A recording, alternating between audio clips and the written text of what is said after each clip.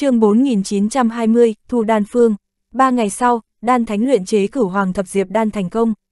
Lăng Hàn tươi cười, hắn cũng thành công nắm giữ phương pháp luyện chế đan dược này. Tôn giả thất tinh, Lăng Hàn lẩm bẩm, mặc dù hắn nắm giữ vài tấm đan phương thất tinh nhưng cũng không phải loại tăng tu vi, cửu hoàng thập diệp đan sử dụng tiên khí trong tiên dược luyện chế, từ đó có thể gia tăng tu vi. Đây là đan phương giá trị kinh người, nhưng ta chưa từng nghe nói về đan phương này, hoặc là thất truyền, hoặc là nắm giữ trong tay thế lực có hạn, căn bản không có khả năng truyền ra ngoài. Hắn nắm được đan phương, Lăng Hàn cảm thấy chính mình kiếm lợi lớn. Tiên khí quá hiếm có, tiên khí cao dài ít tới mức thương cảm, có thể thông qua phương thức luyện đan tăng phẩm chất lên, có bao nhiêu người sẽ điên cuồng. Đúng lúc này, huyễn ảnh biến mất, Lăng Hàn muốn rời đi, không nghĩ tới vị đan thánh kia lại xuất hiện. Hắn vẫn luyện đan, nhưng đổi một loại, lần này, trực tiếp là thánh đan. Thánh đan, trên lý luận mỗi một vị thánh nhân đều có thể tự mình luyện chế, nhưng cần dùng tinh huyết bản thân làm môi giới, tiêu hao quá lớn, hơn nữa chủng loại có thể luyện chế thánh đan cũng có hạn. Cho nên, tự nhiên do luyện đan sư luyện chế mới thuận tiện, hơn nữa chủng loại phong phú, có thể định chế. Lăng Hàn cũng mặc kệ mình bây giờ có thể luyện chế thánh đan hay không, hơn nữa cho dù có thể, hắn cũng không có vật liệu, hắn hiện tại chỉ cần nhớ kỹ, sau này sẽ có thể dùng. Năm ngày sau đó, thánh đan thành, huyễn ảnh biến mất, sau đó biến thành tiên đan lục tinh. Lăng Hàn càng cảm thấy hứng thú, bởi vì hắn hiện tại cũng là giáo chủ, hắn rất cần tiên đan lục tinh. Hắn không biết đan thánh luyện chế đan dược tên gọi là gì, bởi vì đan thánh cũng không nói tên vào mỗi lần luyện chế, nhưng hắn lý giải về đan đạo, hắn biết đan dược này không khác gì cửu hoàng thập diệp đan, có thể gia tăng tiên khí lên một bậc. Bởi vì luyện chế sử dụng vật liệu đều là thủ pháp giống như đúc cửu hoàng thập diệp đan. Vậy thì gọi là tiểu cửu hoàng thập diệp đan đi. Ở phương diện đặt tên, Lăng Hàn không có năng lực gì, cho nên hắn cũng tùy tiện. Hắn say mê trong đó, không ngừng quan sát, nhớ kỹ từng loại đan phương, trong nội tâm rất thỏa mãn. Hắn chính là thiên tài võ đạo, nhưng trong thực chất thì hắn còn là đan sư. Đáng tiếc, ta đã ăn sạch tiên dược, nếu không, hiện tại luyện chế một chút, từ đó gia tăng chất lượng tiên khí, nói không chừng ta hiện tại đã là giáo chủ tam tinh. Phẩm chất tiên khí ảnh hưởng lớn tới đạo quả, chẳng những quyết định tốc độ phát triển của đạo quả, còn có chất lượng của đạo quả.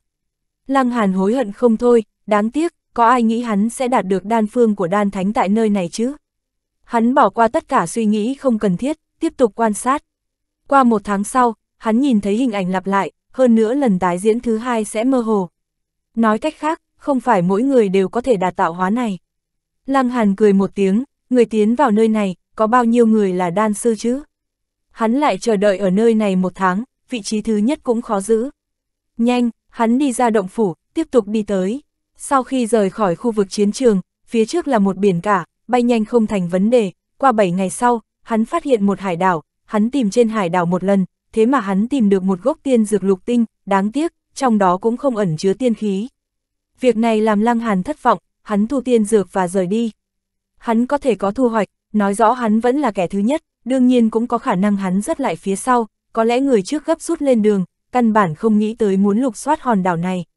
Hy vọng có thu hoạch nhiều một chút, tốt nhất hắn tìm được vài gốc tiên dược có tiên khí, hắn muốn nếm thử luyện chế tiểu cửu hoàng thập diệp đan. Lại qua mấy ngày, Lăng Hàn phát hiện hòn đảo thứ hai, nhưng lần này hắn tìm kiếm một lần, phát hiện trên mặt đất có vết tích đào qua, hơn nữa còn rất mới. Hiển nhiên, có người đi trước hắn, trước đó không có xuất thủ, sau khi nhìn thấy hòn đảo thứ hai, đối phương liền không nhịn được. Lăng Hàn phát động thân pháp, hắn không tiến theo đường thẳng, mà là đi lệch hướng. Lại bốn ngày sau, hắn leo lên hòn đảo thứ ba.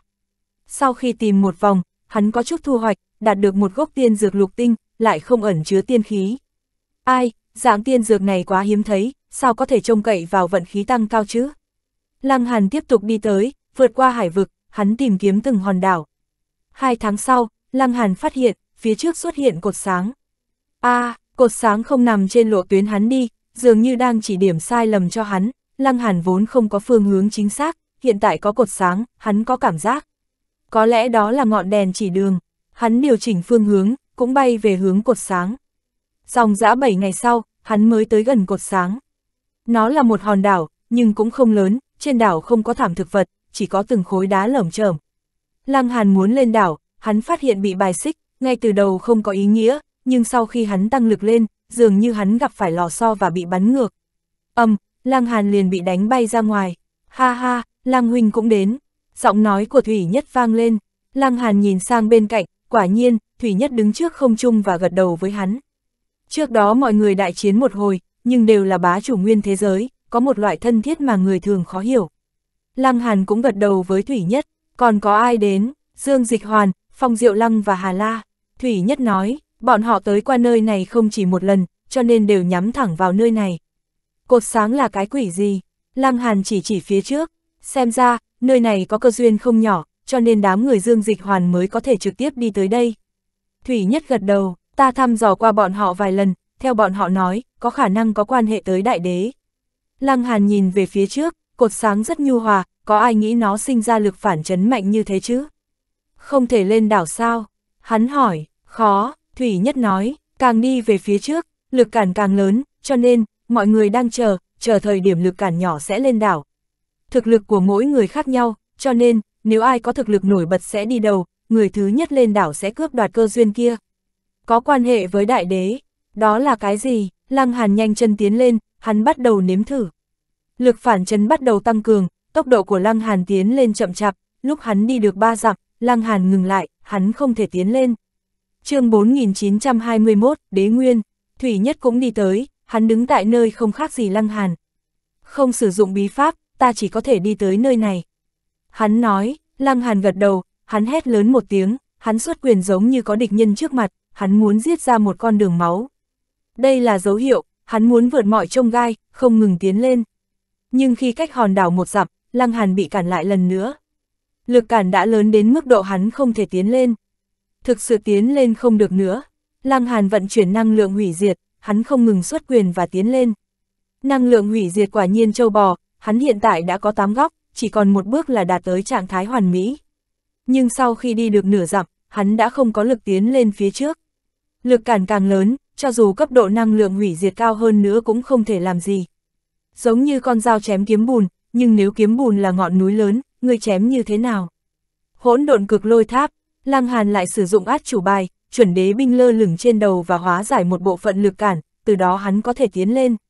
Cuối cùng, hắn đặt chân lên hòn đảo, nhưng sau khi đi tới một bước này, hắn thực sự không thể tiến lên, trên đảo có lực cản vô cùng lớn. Ánh mắt Lăng Hàn dò xét, trên mặt lộ ra thần thái kinh ngạc, bởi vì từ nơi này nhìn thấy cảnh tượng khác với bên ngoài. Nơi này có từng hoa văn màu vàng giống như một loại quỹ tích nào đó, nhưng Lăng Hàn chỉ nhìn lướt qua, hắn lại bị lực cản đẩy ra ngoài. Bành, hắn bị ném ra ngoài như tảng đá. Kể từ đó, những hoa văn màu vàng biến mất, nội tâm Lăng Hàn rung động, lực cản trên đảo vô cùng cường đại, nhưng vẫn có khả năng lên đảo, những hoa văn màu vàng kia đại biểu cái gì? Một loại công pháp nào đó? Không giống, Lăng Hàn lắc đầu, chẳng lẽ là đường đi? Nếu đi theo con đường này lên đảo có thể không bị lực cản ảnh hưởng. Lăng Hàn trọng trấn cờ trống, hắn xông lên hòn đảo lần nữa. Tất cả như cũ, hắn ra sức tiến lên, át chủ bài ra hết, hắn lại bước lên hòn đảo lần nữa, chỉ thấy hoa văn màu vàng lại xuất hiện. Hắn vội vàng ghi nhớ, chỉ trong náy mắt hắn đã bị đẩy ra ngoài. Lại đến, lại đến, Lăng Hàn tràn đầy phấn khởi, hắn không ngừng lao tới. Không lâu lắm, bành, hắn bay ra ngoài. Thủy Nhất nhìn hắn đi tới, hắn cũng phải im lặng. Ngươi xem nơi này thành cái gì, trò chơi sao? Có chơi vui như vậy sao? Một lần lại một lần, Lăng Hàn bất khuất, mỗi một lần bị đánh bay ra ngoài, hắn đều ghi nhớ một phần hoa văn trong lòng, mặc dù tiến độ rất chậm nhưng vẫn có tiến triển. Mấy ngày sau, đám người Dương Dịch Hoàn cũng chạy tới, bởi vì hòn đảo này không lớn, đứng ở vị trí của bọn họ cũng nhìn thấy Lăng Hàn không ngừng bị bắn ngược ra ngoài. Hắn đang làm gì, thấy Lăng Hàn chơi vui quên cả trời đất, ba người Dương Dịch Hoàn đều khó hiểu. Ách, Thủy Nhất nhún vai, biểu thị chính mình không biết rõ tình hình. Xèo, chỉ thấy Lăng Hàn lại bị bắn bay ra ngoài. Lăng huynh, chơi rất vui sao? Dương Dịch Hoàn không nhịn được cười nói. Lăng Hàn quay trở về, hắn gật đầu nói. Chơi vui, nói xong, hắn lại đi lên hòn đảo. Dương Dịch Hoàn, Hà La, Phong Diệu Lăng đều lắc đầu, bọn họ nhiều lần đi vào đế lộ, tự nhiên biết rõ hòn đảo này không thể cưỡng ép đặt chân, nhất định phải kiên nhẫn chờ đợi, chờ đến sức cản yếu bớt và biến mất. Nhưng mà, Lăng Hàn liên tục vượt qua lực cản, bọn họ nhìn thấy mà khiếp sợ. Bởi vì Lăng Hàn chẳng những bước lên hòn đảo, thậm chí còn đi đi một bước. Cái gì? Bốn người dương dịch hoàn đều kinh hãi, đừng nhìn đây là một bước nhỏ nhưng nó lại là một bước rất lớn. Có một bước này, sẽ có bước thứ hai sao? Trong ánh mắt khiếp sợ của mọi người, quả nhiên Lăng Hàn bước ra bước thứ hai, vững vàng. Trời, không phải chứ, gia hỏa này thật có thể lên đảo. Thủy Nhất cũng hít khí lạnh, ta biết gia hỏa này yêu nghiệt, nhưng cũng không thể yêu nghiệt như thế. Dương Dịch Hoàn nhe răng, so sánh với nhau, bọn họ còn mặt mũi nào, bọn họ lại không biết, sau khi đặt chân lên đảo sẽ có hoa văn màu vàng, mà những đường vân này chính là con đường lên đảo, dựa theo lộ tuyến mà đi, lực cản sẽ giảm nhỏ rất nhiều. Nhưng bước đầu tiên là phải đạp lên đảo, đám người Dương Dịch Hoàn, Thủy Nhất không thể làm được. Thử hỏi người trong thiên hạ, có mấy người nắm giữ mẫu kim? Không tốt, như vậy đế nguyên sẽ thuộc về hắn. Hà La lập tức nói, Dương Dịch Hoàn, Phong Diệu Lăng không nói gì, nhưng sắc mặt bọn họ rất khó coi. Đế Nguyên, cái gì đế Nguyên? Thủy Nhất hỏi, Dương Dịch Hoàn do dự một chút, nói, được rồi, xem ra đế Nguyên sẽ bị tên kia nhanh chân tới trước, vậy cũng không cần giữ bí mật. Hắn dừng một chút, nói, đế Nguyên, chính là sau khi đại đế hóa đạo lưu lại, nó là một bộ phận lực lượng cường đại ngay cả chính thiên địa cũng không thể đồng hóa. Hà La tiếp lời, tiếp tục nói, nếu có thể luyện hóa đế nguyên, có thể nhòm ngó lúc đại đế thành đạo, có trợ giúp cực lớn khi chúng ta thành đạo. Thủy nhất giật mình, khó trách ba người dương dịch hoàn vẫn thủ ở nơi này, bọn họ không chỉ một lần tiến vào đế lộ, tự nhiên cũng rõ nơi này như lòng bàn tay. Thậm chí, bọn họ đã từng đạt được đế nguyên, hắn cũng không có quá mức để ở trong lòng, bởi vì hắn đã đi ra con đường của mình, chỉ cần dọc theo con đường này, đế vị đang ở ngay trước mắt. Đế nguyên có thể giúp mở ra võ đạo của chính mình, có thể giúp người ít đi đường rẽ. Phong Diệu Lăng bổ sung một câu, Thủy Nhất lập tức kinh sợ, có thể ít đi đường rẽ, trợ giúp này quá lớn. Mắt hắn nhìn Lăng Hàn, gia hỏa này đã đi trên con đường võ đạo xa hơn hắn, hiện tại lại đạt được đế nguyên, tiến một bước bỏ lại ở phía sau. Trong lòng hắn sinh ra cảm giác áp bách, thậm chí hắn có cảm giác do dự, đó là cảm xúc khó xuất hiện trong sinh mệnh dài rằng giặc của hắn.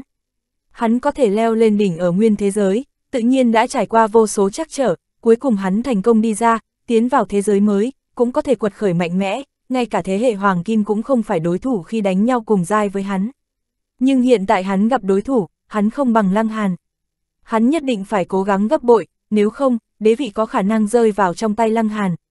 Một thời đại chỉ có thể xuất hiện một vị đại đế. Lại nói Lăng Hàn, hắn nếm thử vô số lần, cuối cùng đã mò ra quy lực của hoa văn màu vàng, hắn bước ra một bước có lực cản rất nhỏ, mặc dù vẫn rất kinh người nhưng vẫn nằm trong phạm vi hắn chịu đựng. Hắn càng kiên định bước ra bước thứ hai, sau đó là bước thứ ba, bước thứ tư. Trong mắt của người khác, lực cản này quá khó giải, nhưng dưới chân của Lăng Hàn, mặc dù không thể nói là đường thẳng nhưng cũng không đủ để tạo thành chướng ngại. Nơi này ẩn chứa cái gì, nó có thể làm đám người dương dịch hoàn truy cầu như thế. chương 4922, Bí mật của quy tắc. Lăng Hàn tiến lên, mặc dù rất chậm nhưng đã đi từng bước một, hắn đi rất ổn định. Hắn đi mỗi một bước đều rất chính xác, cực kỳ chú trọng. Chỉ có bước lên tiết điểm thì lực cản mới yếu nhất, từ đó hắn có thể tiến lên, nếu không chỉ cần bước sai một bước, hắn sẽ bị đánh bay ra ngoài. Phía sau, mấy người dương dịch hoàn cũng bắt đầu nếm thử, thiên kiêu như bọn họ làm sao phục người khác, nếu Lăng Hàn có thể, bọn họ cũng cho rằng mình có thể thực hiện được. Đáng tiếc là, bọn họ lại không có mẫu kim, cũng ít đi một kiện lợi khí, bọn họ làm sao so sánh với Lăng Hàn. Bành bành bành, bọn họ nhiều lần nếm thử, nhiều lần bị đánh bay. Lăng Hàn không để ý đến, tinh thần của hắn đang tập trung cao độ. Thời điểm hắn bước ra bước thứ hai, hoa văn màu vàng trong mắt hắn biến mất, hắn chỉ có thể dựa vào trí nhớ của mình, cho nên, hắn vừa đối kháng lực cản kinh khủng, hắn vừa vắt hết đầu óc suy nghĩ con đường tiến lên, đối không thể phạm sai lầm. Đây là khảo nghiệm song trọng, cho dù làm sai bước nào cũng phải làm lại từ đầu. Nguy hiểm thật, cho dù thực lực hay ngộ tính của Lăng Hàn đều là đỉnh cấp, hắn không thể phạm sai lầm.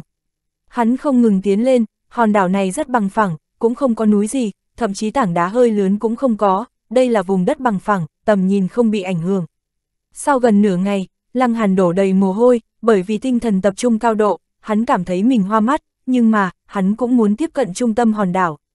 Phía trước có núi đá nhấp nhô, hơn nữa trên hòn đảo chỉ có hòn đá cao duy nhất. Trên tảng đá có ba hạt châu óng ánh, đều có màu ngà sữa, nếu nhìn tỉ mỉ sẽ thấy khí tức hỗn độn nhấp nhô, lại không giống thể rắn, mà là thể khí. Lăng Hàn không dám thả lỏng tinh thần, hắn cẩn trọng, tiếp tục đi tới. Qua 10 phút, hắn đi tới trước tảng đá, hắn vươn tay bắt lấy ba hạt châu. Đây chính là đồ vật đám người dương dịch hoàn muốn có. Vào lúc ngón tay của hắn chạm vào ba hạt châu, còn không đợi hắn nắm lấy, ba viên hạt châu vỡ vụn và hóa thành khí thể dung hợp vào lòng bàn tay của hắn. a à, đây là cái quỷ gì?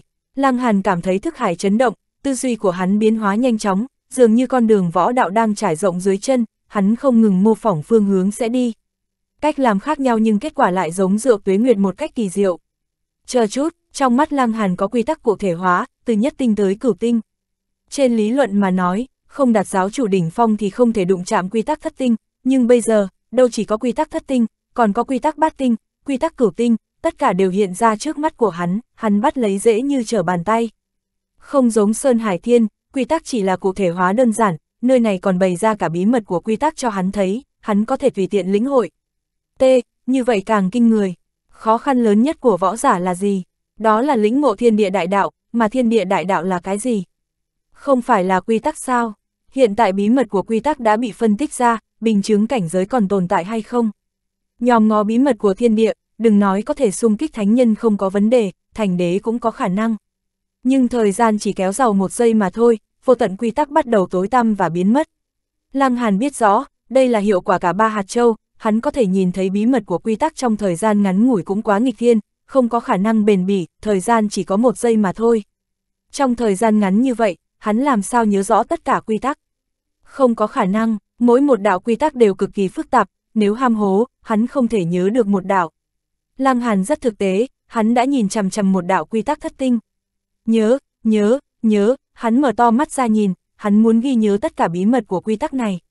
Nhưng thời gian chỉ trong nháy mắt, tất cả quy tắc đã biến mất. Lăng Hàn khó khăn lắm chỉ mới nhớ một phần tư, mặc dù như thế, nhưng ta nghĩ, sau khi ta hiểu rõ một bộ phận quy tắc, ta cũng có thể điều động một cách có hạn. Lăng Hàn càng hưng phấn, hắn mới là giáo chủ, nếu hắn có thể vận dụng quy tắc thất tinh, cho dù chỉ một bộ phận cũng khủng bố cỡ nào. Quy tắc thất tinh có thể nghiền ép quy tắc lục tinh, đây chính là cấp tôn giả. Vì cái gì không chọn quy tắc bát tinh và cửu tinh?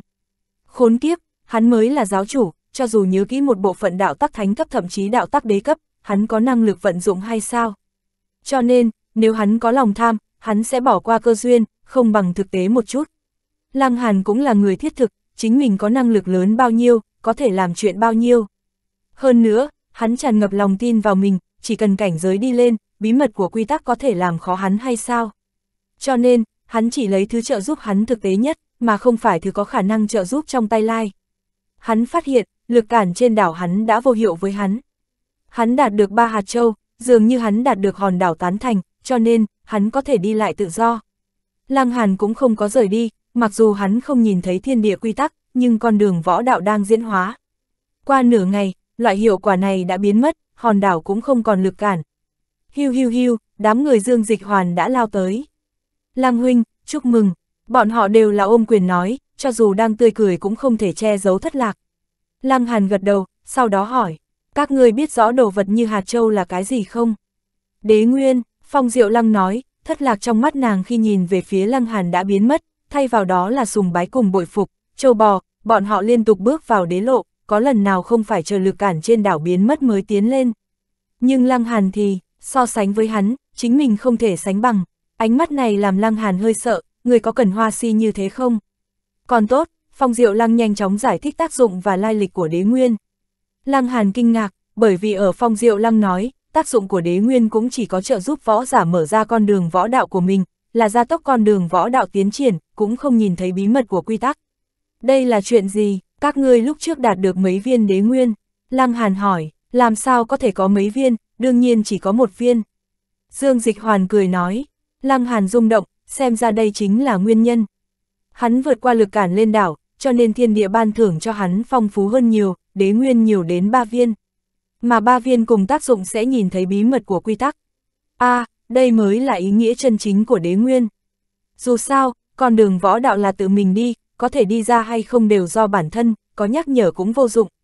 Người xem, ba người dương dịch hoàn đã tiến vào đế lộ không biết bao nhiêu lần, số lần đạt được đế nguyên cũng không ít, nhưng bọn họ vẫn không đi ra con đường võ đạo của mình chương 4923, Thạch Quy, lời này Lăng Hàn cũng không có nói gì thêm, bằng không ba người dương dịch hoàn sẽ ghen ghét nhiều hơn. Đi thôi, nếu đế nguyên đã lấy đi, lưu lại đảo này cũng không có ý nghĩa. Hà La nói, phía trước còn có đế nguyên, Lăng Hàn hỏi, ba người dương dịch hoàn đều cười, cũng không có trả lời. Nhất định có, nhưng bọn họ không nghĩ cho Lăng Hàn đạt được, cho nên không chịu tiết lộ tư liệu. Dù sao, có Lăng Hàn tham dự chính là cạnh tranh không công bằng, người khác chỉ có thể trơ mắt nhìn hắn đắc thủ. Là người đương nhiên ích kỷ, huống chi đây là tư cách thành đế. Năm người chia ra mà đi, phương hướng đại thể đều nhất trí với nhau.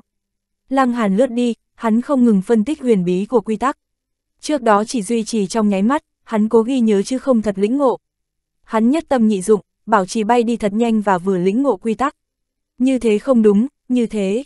Hắn không ngừng thì thào, khi thì cao mày, khi thì tươi cười, vẻ mặt biến ảo rất nhanh. Hắn chỉ là giáo chủ, hắn có thể lĩnh hội quy tắc thất tinh, độ khó của việc này quá cao. Nếu hắn đi Sơn Hải Thiên, dù là quy tắc thất tinh cụ thể hóa ở trước mặt, hắn cũng chỉ có thể dương mắt nhìn, không đạt tới giáo chủ đỉnh phong, căn bản không có cách lĩnh hội gì.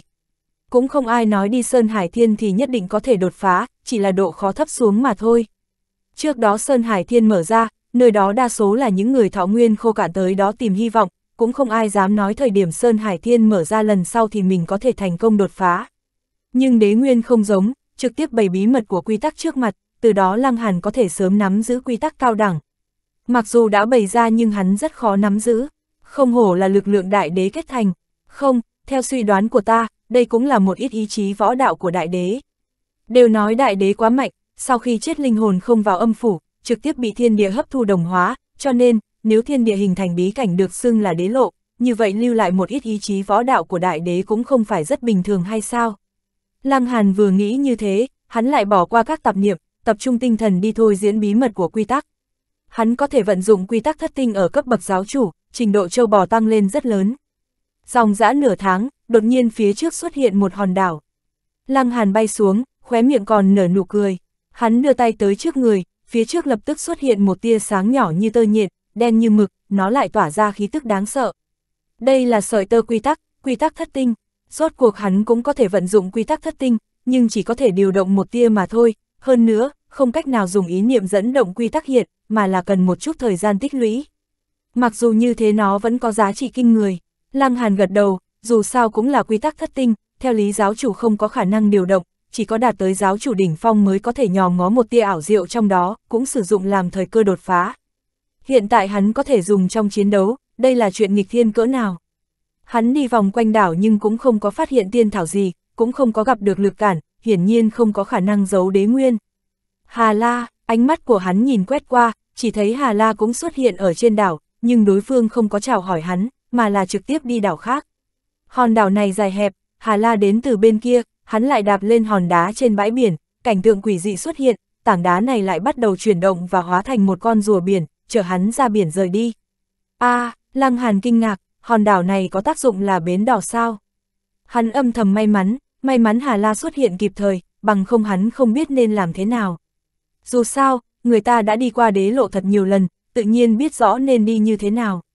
Đối phương không có để ý chính mình, điểm ấy Lăng Hàn có thể lý giải, bởi vì phía trước khẳng định còn có đế nguyên, hắn chỉ có thể ngăn cản Lăng Hàn ở nơi này, như thế hắn mới có lấy khả năng.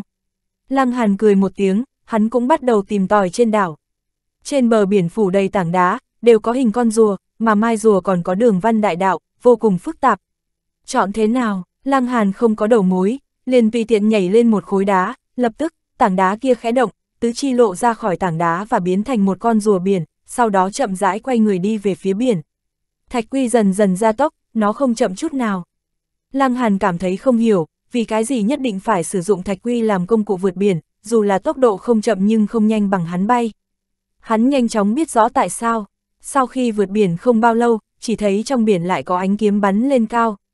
Lăng Hàn chỉ nhìn thoáng qua, hắn biết mình không thể ngăn cản, phỏng trừng tôn giả cũng có thể bị miểu sát. Nhưng Thạch Quy mặc dù không hề chiến lực, lại có thể đem ánh sáng kiếm ngăn lại đến, để mai rùa trở thành chỗ an toàn. Thì ra là thế, Lăng Hàn gật đầu, khó trách nhất định phải sử dụng Thạch Quy vượt biển. a chờ một chút, Lăng Hàn kinh ngạc phát hiện, sau khi Thạch Quy bơi một lúc thì nó quay đầu trở lại. Phía trước chính là hòn đảo lúc trước, tại sao ngươi trở về?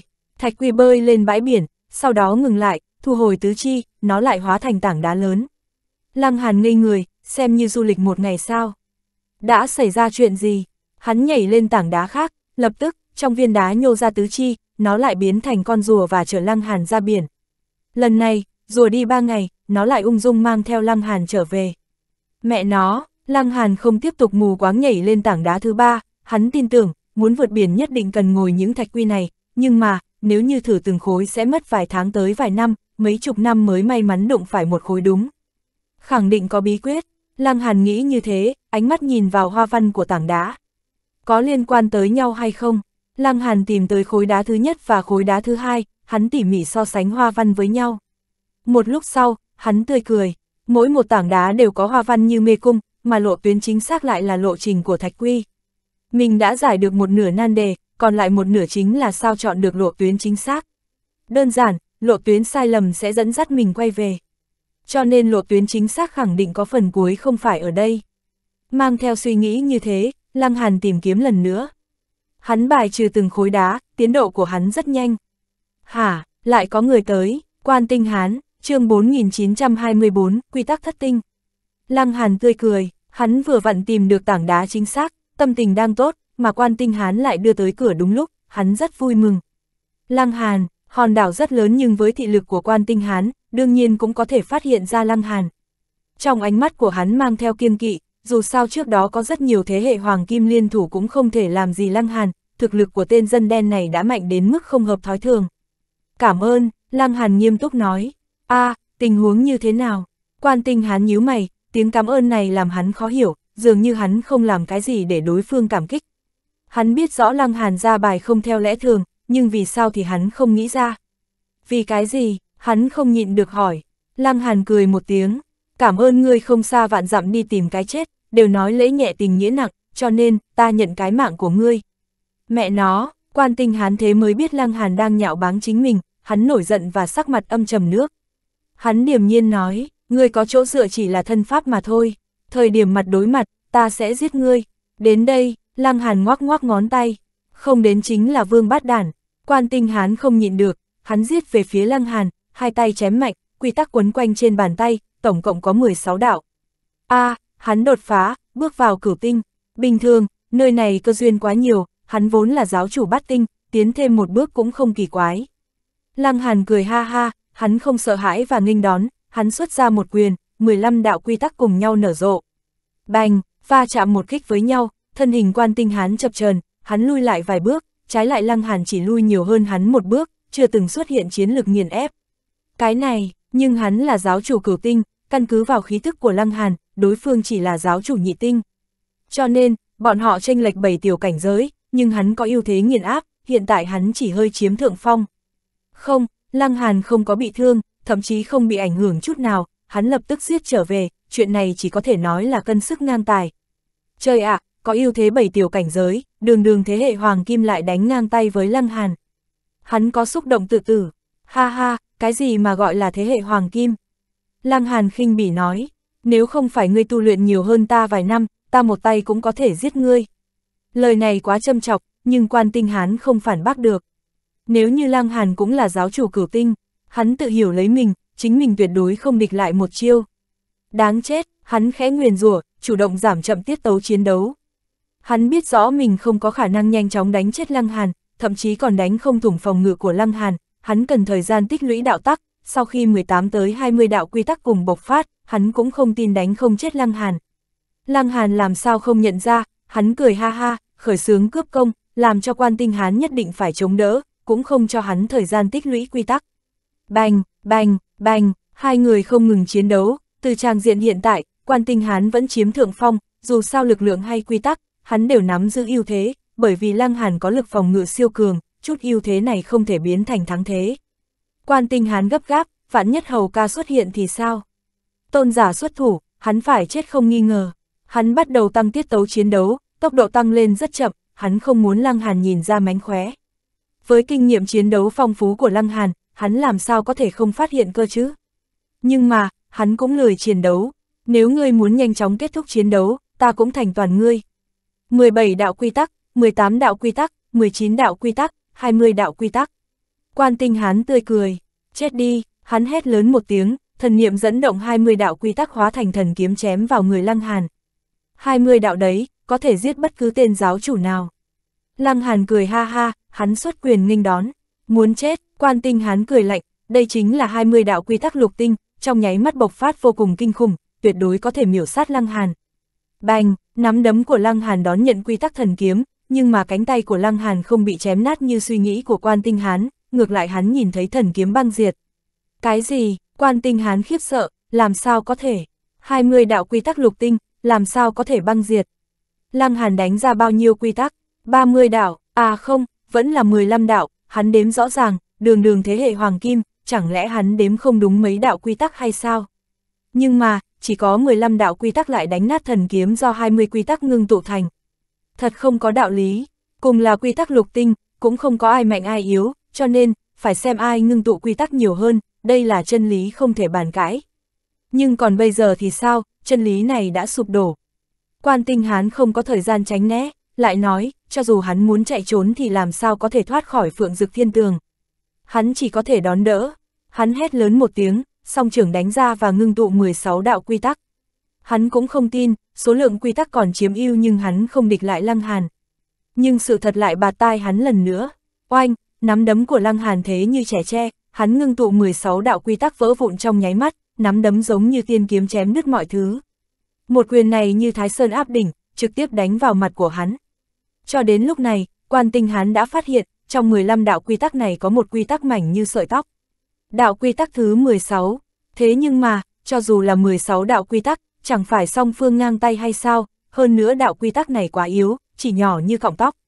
Không, hắn mở to mắt ra nhìn, mẹ nó, đây là quy tắc thất tinh. Trong chớp mắt, quan tinh hắn cảm thấy ra đầu tê dại, toàn thân bị hàn ý bao phủ. Ngươi là quái vật gì thế, giáo chủ nhị tinh lại có thể vận dụng quy tắc thất tinh. Ngươi có cho giáo chủ sống hay không? Tôn giả nghiền ép giáo chủ, đây là chân lý, cho nên, dù Lăng Hàn chỉ nắm giữ một tia quy tắc thất tinh, hắn bất ngờ dùng ra cũng sẽ có kỳ diệu. Không thể chơi như thế, thiên đạo, người cũng quá không công bằng rồi. Giáo chủ dùng ra quy tắc thất tinh, hoàn toàn phá hủy chân lý võ đạo. Trong nháy mắt, trong lòng của hắn hiện ra vô số suy nghĩ, hắn lại không thể làm gì, chỉ có thể trơ mắt nhìn một quyền này mang theo năng lượng màu đen đánh nát đầu. Mặc dù hắn khiếp sợ nhưng hắn vẫn chấn định, bởi vì hắn có thế tử phù. Nhưng bây giờ, cảm giác lạnh lẽo xâm nhập xương cốt làm hắn sợ hãi. chương 4925, Huyền La Điện. Bành, một quyền đánh nát thức hải của tinh hán, thế tử phù có tác dụng khi đối mặt với năng lượng hủy diệt hay sao? Thế hệ hoàng kim, lại chết một người. Lăng Hàn thu hồi nắm đấm, hắn không buồn không vui. Hiện tại, mục tiêu của hắn không phải là quan tinh hán, mà là hai tên tôn giả đế tử Minh, đế tử Thiên. Hiện tại đấu với bọn họ, ta còn chưa phải đối thủ, chỉ có thể sử dụng năng lượng ngọc thạch hãm hại. Lăng Hàn lẩm bẩm, dù sao hắn chỉ là giáo chủ nhị tinh, cho dù tu ra một tia quy tắc thất tinh nhưng khai chiến với thế hệ hoàng kim nắm giữ quy tắc thất tinh, hắn muốn chết sao? Nhưng mà, trong giáo chủ đã không có ai là đối thủ của ta. Thử hỏi có giáo chủ nào chống đỡ được quy tắc thất tinh oanh kích? Cho dù chỉ là một tia, Lăng Hàn lục soát thi thể quan tinh hán, hắn không tìm được thứ gì có giá trị, có tiên dược cũng bị luyện hóa, nếu không quan tinh hán làm sao có khả năng bước vào cửu tinh. Hắn trở lại bãi biển, tìm tới khối mà hắn đã xác định rõ, hắn đặt chân trên đó, tảng đá mọc ra tứ chi, hóa thành rùa biển và bơi vào biển sâu. Lần này, Thạch Quy một đi không trở lại, dòng dã nửa tháng sau, phía trước xuất hiện đường ven biển. Cuối cùng cũng vượt qua biển rộng, mắt thấy hải vực không còn ánh kiếm bao phủ, Lăng Hàn thả người nhảy lên đất liền. Đây là một phiến bình nguyên bát ngát, mênh mông vô bờ. Nên đi phương hướng nào? Lăng Hàn dò xét, hắn lại tươi cười. Nơi xa xôi có quang trụ phóng lên trời. Hắn phát động phượng dực thiên tường, tốc độ như bay, hắn tiến về nơi phát ra ánh sáng. Sau nửa giờ, Lăng Hàn đã đi tới vùng đất có ánh sáng. a lại là một tòa cung điện, huyền la điện, Lăng Hàn nhìn lướt qua, bảng hiệu trên cửa cung viết rõ ba chữ. Ai, Lăng Huynh, ta rất không muốn nhìn thấy ngươi. Chỉ thấy ba người Dương Dịch Hoàn, Hà La, Phong Diệu Lăng đã tới đây. Bọn họ đạp lên đế lộ nhiều lần, liên tiếp và không bị trì hoãn, biết rõ đi như thế nào, mục tiêu vô cùng rõ ràng. Nhưng bọn họ tới sớm nhưng lại không thể vào cung điện, bởi cũng giống như lúc, nơi này có lực cản. Lăng Hàn cười một tiếng, thật xấu hổ, ta đi trước một bước, hắn nhanh chân tiến lên phía trước, lực cản nặng nề ập tới, nó sẽ tăng cường khi hắn xâm nhập, bước chân của hắn dần chậm lại, Lăng Hàn hét lớn một tiếng, chiến lực bộc phát hoàn toàn. Lần này, hắn chẳng những dùng tới năng lượng hủy diệt, hắn còn dùng cả quy tắc thất tinh nhưng kẹp bên trong rất nhiều quy tắc, nếu như quan sát tỉ mỉ sẽ không phát hiện ra. Cho nên, Lăng Hàn cũng không sợ đám người dương dịch hoàn phát hiện lá bài tẩy của mình. Hắn không ngừng tiến lên, hắn trực tiến tới cách cửa cung điện 10 bước mới dừng lại. Hắn không thể tiến lên, hắn lại vận dụng hỗn độn cực lôi tháp, thân thể tiến lên 10 bước tới trước cửa điện. Làm cho hắn kinh ngạc chính là, nơi này cũng không có hoa văn màu vàng, hơn nữa áp lực cũng đã biến mất. Lăng Hàn dừng một chút, hắn duỗi tay đẩy cửa.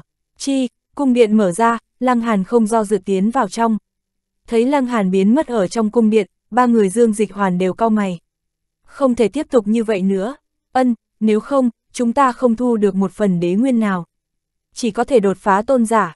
Ba người đều gật đầu, giáo thực lực chủ đã không thể ngăn cản Lăng Hàn, cho nên, bọn họ nhất định phải trở thành tôn giả, khi đó mới có thể cưỡng ép lưu Lăng Hàn lại, chờ lực cản tự mình biến mất, Lăng Hàn có khả năng tranh nổi bọn họ hay không.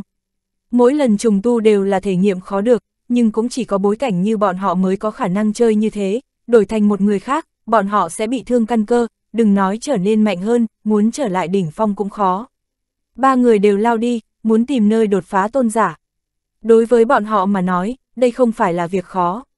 Lăng Hàn đi vào trong cung điện, bên trong không có tối tăm như nhìn từ bên ngoài, từng khối ngọc thạch đang phát sáng giống như ngọn đèn. Chỉ thấy sâu trong cung điện có một người ngồi xếp bằng và quay lưng về phía hắn. Ha ha, hàng tỷ năm qua, người có thể đi tới nơi này và nhìn thấy ta, ngươi là người thứ 9. Người này nói ra, giọng nói vang lên trong thức hải của Lăng Hàn. Mới 9 người, Lăng Hàn rung động, chắc hẳn chờ lực cản biến mất mới tới nơi này sẽ không gặp được vị trước mặt. Tám người trước là ai? Lăng Hàn hiếu kỳ, không nhớ rõ, người kia lắc đầu, sau đó vươn người đứng dậy, xoay người lại đối mặt Lăng Hàn. Đó là nam tử trung niên, thân mặc một kiện trường bào màu trắng, hắn có khí chất xuất trần.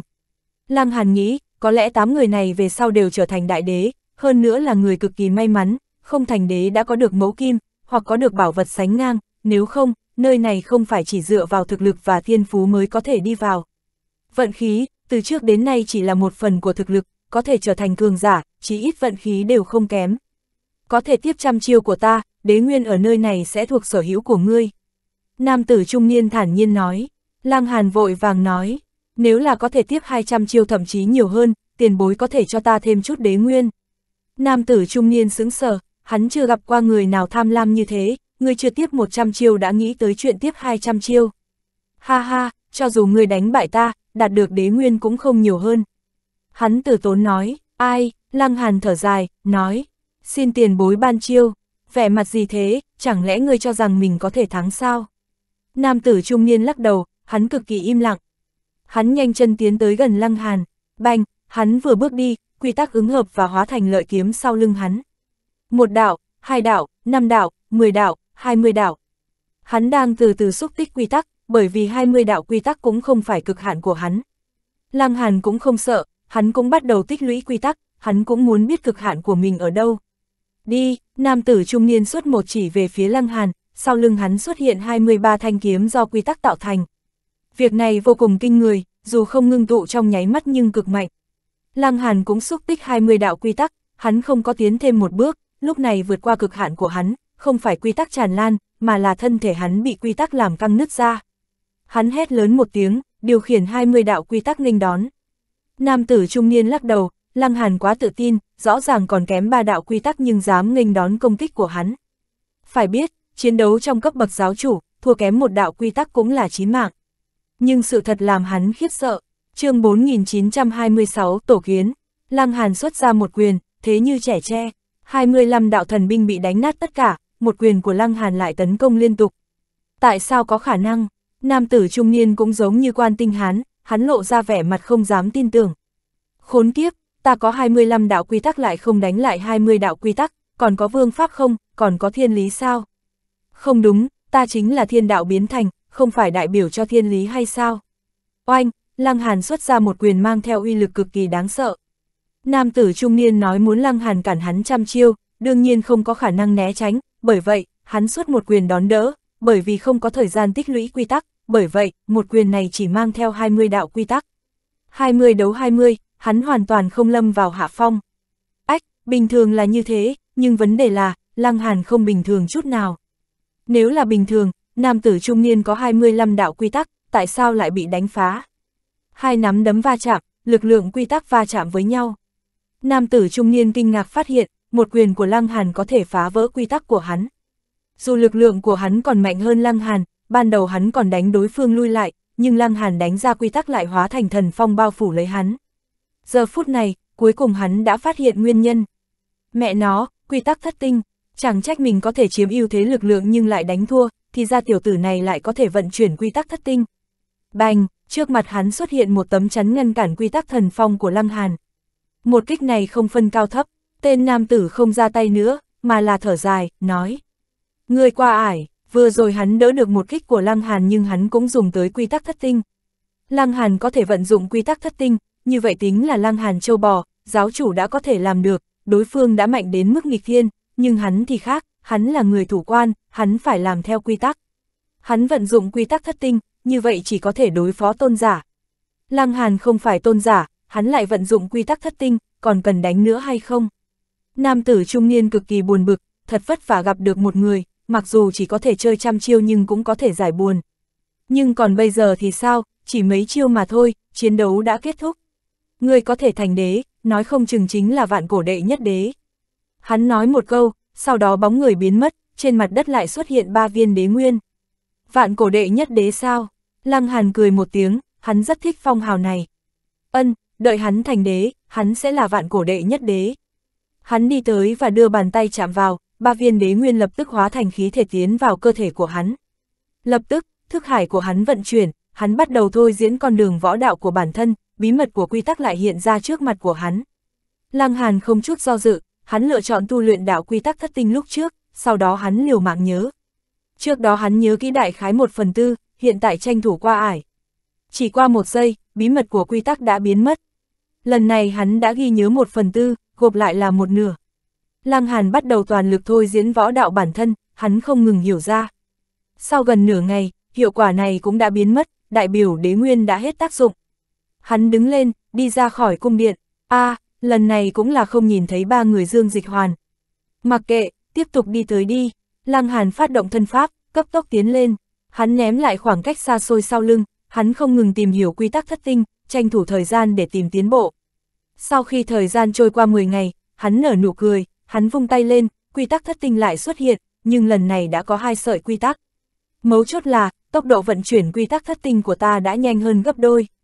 Đây mới là điểm tuyệt nhất, đánh nhau cùng cấp với giáo chủ, một tia và hai tia quy tắc thất tinh không có khác biệt gì, ngược lại có thể nghiền ép quy tắc lục tinh, nhưng mà, tốc độ vận chuyển quy tắc thất tinh tăng lên gấp đôi, việc này có ý nghĩa khác biệt.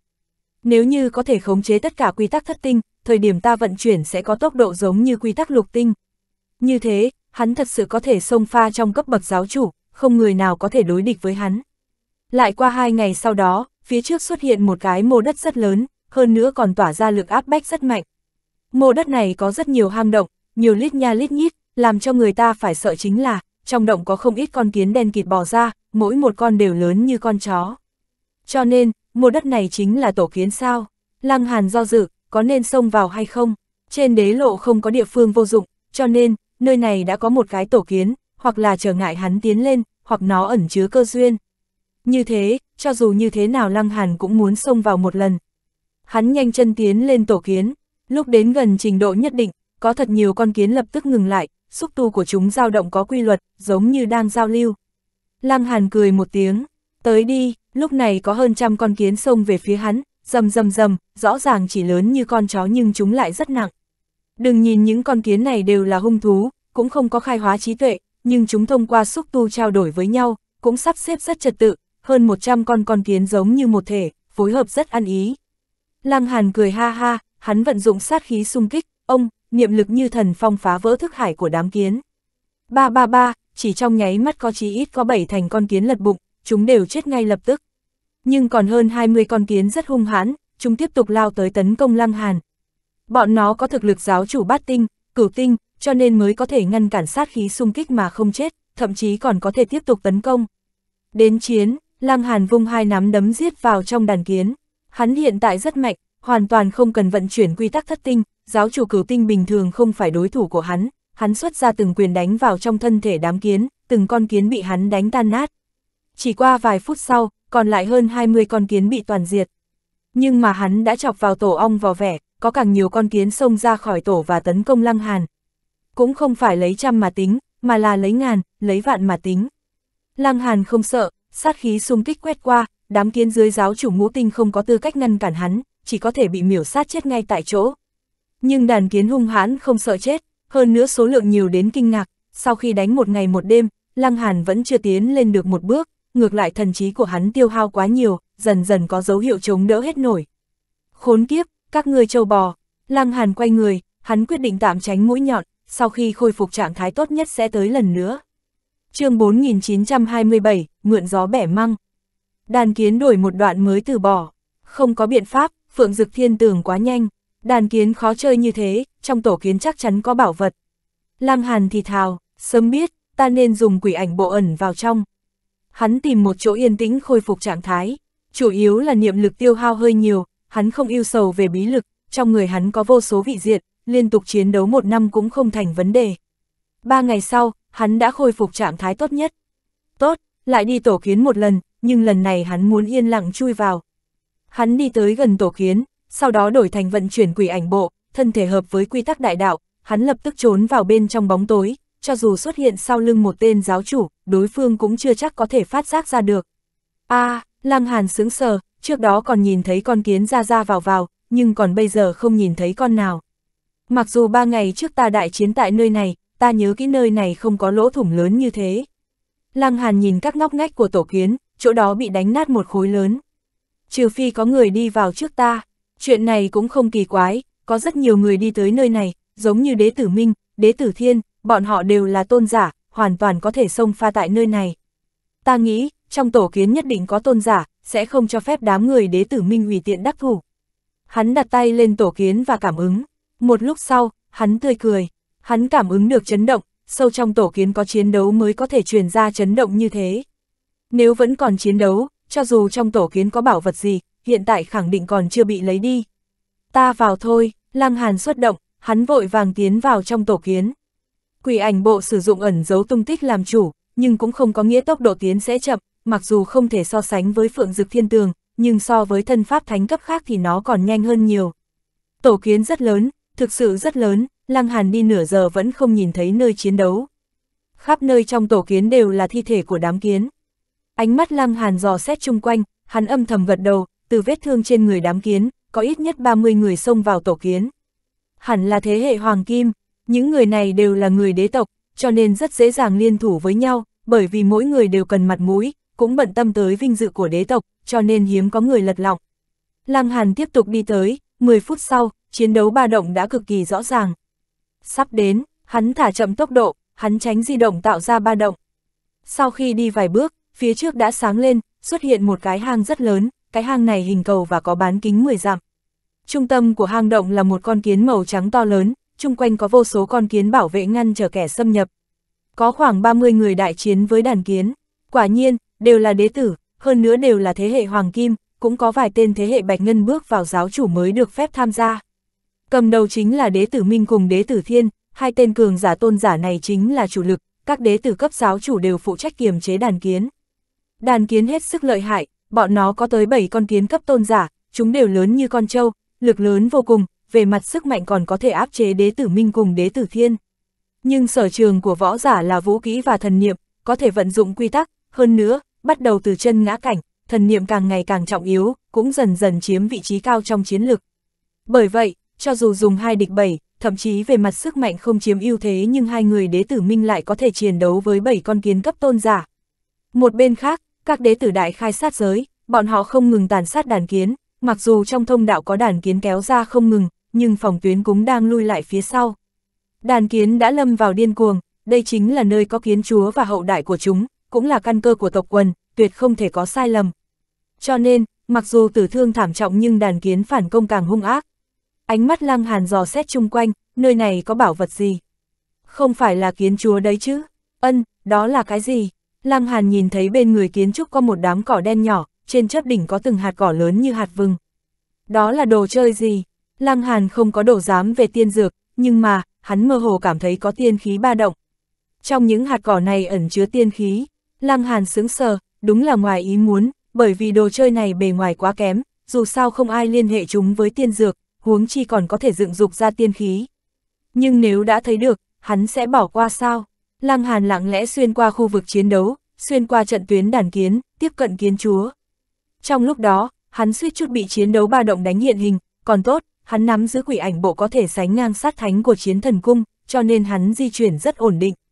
Hắn đã tới gần kiến chúa, ở chỗ này, hắn có thể hái được đám cỏ đen.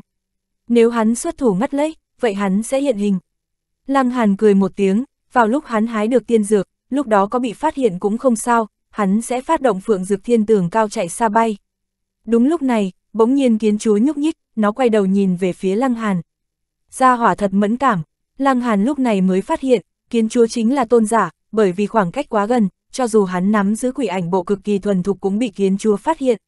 Lúc này có mười mấy con kiến phóng về phía Lăng Hàn, mặc dù bọn nó không có phát hiện Lăng Hàn, cả đám đều tận trung với lệnh của kiến chúa. Không có thời gian có thể lãng phí, Lăng Hàn vội vàng xuất thủ, hắn hái toàn bộ đám cỏ đen và bỏ vào pháp khí không gian. Từ đó hắn cũng hiện hình, ồ, đế tử minh và các thế hệ hoàng kim đều sướng sờ, trong bọn họ có người ẩn hình tới gần kiến chúa, thành công hái tiên dược. Tốt, bọn họ đều vui mừng, bởi vì chiến đấu với đám kiến không có chỗ tốt, hiện tại hái được tiên dược, đương nhiên bọn họ có thể rút lui. Nhưng mà, sau đó bọn họ giận dữ, suýt nữa cả đám tức chết. Đó không phải thành viên của bọn họ, mà là Lăng Hàn. Lăng Hàn, lớn mật, mau thả tiên dược xuống. Những thế hệ hoàng kim kia đều quát to, hận không thể bầm thây Lăng Hàn thành vạn đoạn. chương 4928, tức giận. Thế hệ hoàng kim có lý do để tức giận. Bọn họ liều sống liều chết, khổ chiến hơn 2 ngày, liên tục chém giết không ít đàn kiến, mỗi người đều máu me đầm đìa, vết thương chồng chất, mắt thấy sắp có thu hoạch lớn, đột nhiên Lăng Hàn lại giết ra và lấy đi đồ vật của bọn họ. Bọn họ làm sao nhẫn nhịn được nữa. Lăng Hàn, người thật muốn chết sao? Quá ghê tởm, a bọn họ cùng nhau phát điên, tất cả lao tới tấn công Lăng Hàn. Nhưng hung thú không có trí tuệ, đán kiến cho rằng Lăng Hàn chính là kẻ xâm lấn, mắt thấy các đế tử xung kích trận tuyến, chúng đều liều mạng ngăn cản, sợ bọn họ gây bất lợi cho kiến chúa. Bọn họ cũng khó đánh tan phòng tuyến như vậy, các đế tử lập tức bị cản lại, trước đó bọn họ không thể đột phá phòng tuyến, chỉ có thể thúc đẩy, hiện tại bọn họ cực kỳ tức giận, cho dù bạo phát toàn lực cũng không thể đột phá phòng tuyến. Bọn họ giận điên người, rõ ràng là Lăng Hàn cướp đi đồ đạc của các ngươi, các ngươi lại liều mạng ngăn cản chúng ta làm gì. Trên thực tế, Lăng Hàn cũng bị đám kiến công kích, dù sao hắn cực kỳ tiếp cận kiến chúa, cho nên bị đám kiến công kích cũng bình thường. Hiện tại hắn cần kéo dài khoảng cách với kiến chúa. Quả nhiên, mặc dù có lượng lớn kiến tấn công hắn nhưng cường độ lại giảm bớt rất nhiều. Dù sao hắn chỉ có một người, uy hiếp không thể nào so sánh với thế hệ hoàng kim, số người đã nhiều, càng có cường giả cấp tôn giả. Lăng Hàn vô cùng nhẹ nhõm, hắn chỉ chống đỡ chứ không hạ sát thủ, hắn giữ vững xu thế cân bằng với đám kiến, sau đó hắn nhìn về phía các đế tử. Các vị, cảm ơn, lời này đã chọc giận mọi người, đám đế tử đã tức giận, hiện tại nghe thấy lời này đều hận không thể trẻ Lăng Hàn thành thịt nát. Lăng Hàn, người đắc tội nhiều đế tộc như vậy, chỉ cần ra ngoài sẽ bị các đế tộc truy sát. Lần này, mặc kệ sau lưng người có bối cảnh gì cũng không dùng được. Người đã là người chết, các đế tử lạnh lùng nói ra, Lăng Hàn quá yêu nghiệt, ép tới bọn họ không thở nổi, tranh đoạt đế vị với người như thế, bọn họ làm sao tranh nổi. Cho nên, đối thủ như vậy phải bị xóa đi. Dù sao Đa Gia Phật chưa từng nói không được xuống tay với Lăng Hàn, việc này cũng cho bọn họ cơ hội. Lăng Hàn cười ha ha, tới đi, hắn tiếp thì thế nào? Bị đuổi giết, bị đả kích, nhưng hắn từng tan vỡ chưa? Càng như vậy, ý chí chiến đấu của hắn càng mạnh hơn bây giờ hắn đã là giáo chủ, có thể xưng là đại năng, có không ít người mạnh hơn hắn, nhưng đếm hết thiên hạ có bao nhiêu tôn giả cùng thánh nhân. Hắn muốn báo tố mạnh hơn một chút, đế tử cũng tỉnh táo lại, biết rõ có mắng cũng không thể tiêu diệt Lăng Hàn, bọn họ dùng ánh mắt đáng sợ nhìn chằm chằm vào Lăng Hàn, ánh mắt mang theo sát khí. Đi, bọn họ không hề ham chiến, tiên dược cũng bị mất, còn có ý nghĩa gì? Các đế tử rút lui, bọn họ còn có một ý nghĩ, chính là ra ngoài tổ kiến chặn giết Lăng Hàn. Bọn họ vừa rút lui, mặc dù có lượng lớn đàn kiến đuổi bắt, càng có một con kiến cấp tôn giả lao tới tấn công Lăng Hàn. Cái này chơi không lại, Lăng Hàn vội vàng bỏ chạy, lúc này, hắn bạo phát ra chiến lực mạnh mẽ, lúc hắn xuất thủ có quy tắc cùng lực lượng sôi trào, phạm vi trăm trượng trước mặt hắn bị thanh lý sạch sẽ. Hắn thét dài một tiếng và tiến lên thật nhanh, ở phía sau hắn, con kiến cấp tôn giả đuổi theo không bỏ. Hiu hiu hiu, con kiến lắc lắc xúc tu, không ngừng có hắc quang đánh ra, hắc quang có tính ăn mòn cực mạnh, lúc đánh vào vách thông đạo sẽ sinh ra lỗ thủng lớn. Mặt đất trong đế lộ rất đặc thù, nếu không, một kích của tôn giả làm sao chỉ có thể tạo thành chút phá hư như thế. Con kiến này phát cuồng, nó không ngừng bắn hắc quang, đám kiến chạy tới trợ giúp cũng gặp tai họa. Nghĩ lại cũng phải, bị người ta xâm lấn, ngay cả kiến chúa suýt bị chém giết, đám kiến không nổi điên hay sao. Lăng Hàn cũng không quay đầu lại, ông, sát khí xung kích đánh ra. Lúc này đám kiến chung quanh ngã xuống, cho dù là con kiến cấp tôn giả cũng bị ảnh hưởng, việc này càng làm nó tức giận, hắc quang bắn ra dày đặc hơn trước. Lăng Hàn cũng không dám chủ quan, thông đạo rất nhỏ, hắn cần thu nhỏ thân thể để không ảnh hưởng phượng dực thiên tường vận chuyển, cho nên hắn mới khó thoát khỏi con kiến công kích. Hắn vận dụng hỗn độn cực lôi tháp treo trên đỉnh đầu, đây chính là mẫu kim chế tạo, có thể lớn có thể nhỏ, tất cả tùy tâm. Kể từ đó, mặc kệ hắc quang bắn tới người cũng có chuẩn đế binh cản trở. Liên tiếp bỏ trốn, rốt cuộc lối ra cũng xuất hiện. Lăng Hàn thét dài một tiếng, hắn không ngừng ra tốc và lướt đi thật nhanh, lúc này, hắn phát động phượng dực thiên tường, thân thể lướt nhanh và rời xa tổ kiến. Con kiến cấp tôn giả chỉ đuổi theo mấy bước, nó chỉ có thể trơ mắt nhìn Lăng Hàn trốn xa, cuối cùng biến mất. Lăng Hàn rời xa tổ kiến, hắn lập tức dừng sử dụng phượng dực thiên tường. Thân pháp này rất trâu bò nhưng phong cách quá chói mắt, từ xa đã nhìn thấy hỏa diễm cuồn cuộn. Cho nên, hắn lập tức đổi thành vận chuyển quỷ ảnh bộ. Hiu hiu hiu, chỉ trong nháy mắt đã thấy có hai đạo nhân ảnh đạp không lao tới. Đế tử Minh, Đế tử Thiên, hai tên thế hệ hoàng kim cấp tôn giả. Quả nhiên, Lăng Hàn cười lạnh, hắn cẩn thận cũng không có sai, những đế tử kia đang điên cuồng tìm hắn. Nhưng cho dù đế tử Minh, đế tử Thiên là tôn giả, trong tình huống không tới gần, bọn họ cũng không cách nào tìm ra Lăng Hàn nấp trong bóng tối. Trừ khi Lăng Hàn đặc biệt không may, hai tên đế tử dừng chân vừa vặn ở bên cạnh hắn, khi đó Lăng Hàn cũng chỉ nói mình xui xẻo mà thôi. Đế tử Minh cùng đế tử Thiên nhìn nhau một cái, bọn họ đều phát hiện động tính của Phượng Dực Thiên Tường nên mới chạy tới, kết quả vẫn chậm một bước.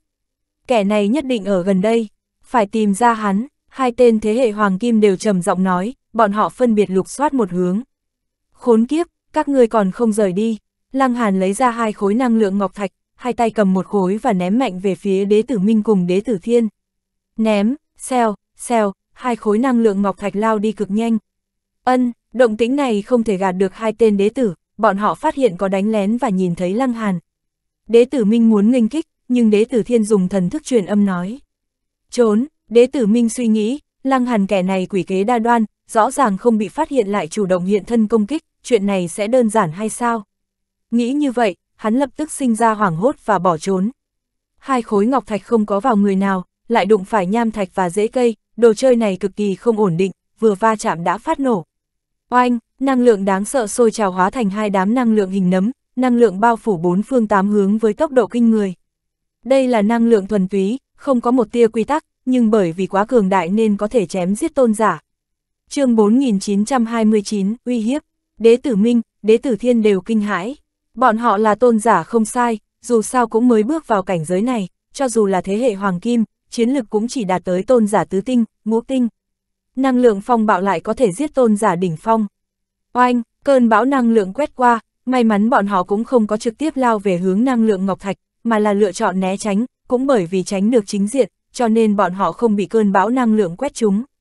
Hai đế tử đều rút lui, bọn họ trốn ra xa, cho dù bị quét qua cũng không bị ảnh hưởng. Lăng Hàn lui đi cực xa, hắn đã dùng đồ chơi này hại người, đương nhiên biết rõ nơi nào là khu vực an toàn. Nơi xa, đế tử Minh, đế tử Thiên đều bộc phát sát khí đáng sợ. Nhất là đế tử Minh, nếu không phải được đế tử Thiên nhắc nhở, nói không chừng hắn sẽ đánh ra một trường, hắn muốn đánh bay năng lượng ngọc thạch, mà như thế, hắn có khả năng thảm rồi, không chết cũng bị trọng thương. Đến cấp tôn giả, thế tử phù đã khó dùng, mà năng lượng phong bạo có thể so sánh với một kích của thánh nhân, cho dù thế tử phù có thể phát huy tác dụng lên tôn giả nhưng hắn vẫn phải chết. Cho nên, hắn đã đi một vòng trước quỷ môn quan. Lăng, Hàn, hắn nói ra từng chữ, hận không thể ăn tươi nuốt sống Lăng Hàn. Lăng Hàn mỉm cười, hai tay sáng lên, trong tay lại xuất hiện một khối năng lượng ngọc thạch. Hắn tìm được không ít đồ chơi này trong đáy hố. Tới chơi không? Lăng Hàn cười nói, hắn đang khiêu khích. Lúc này, đế tử Minh cùng đế tử Thiên đều tức giận và kiêng kỵ.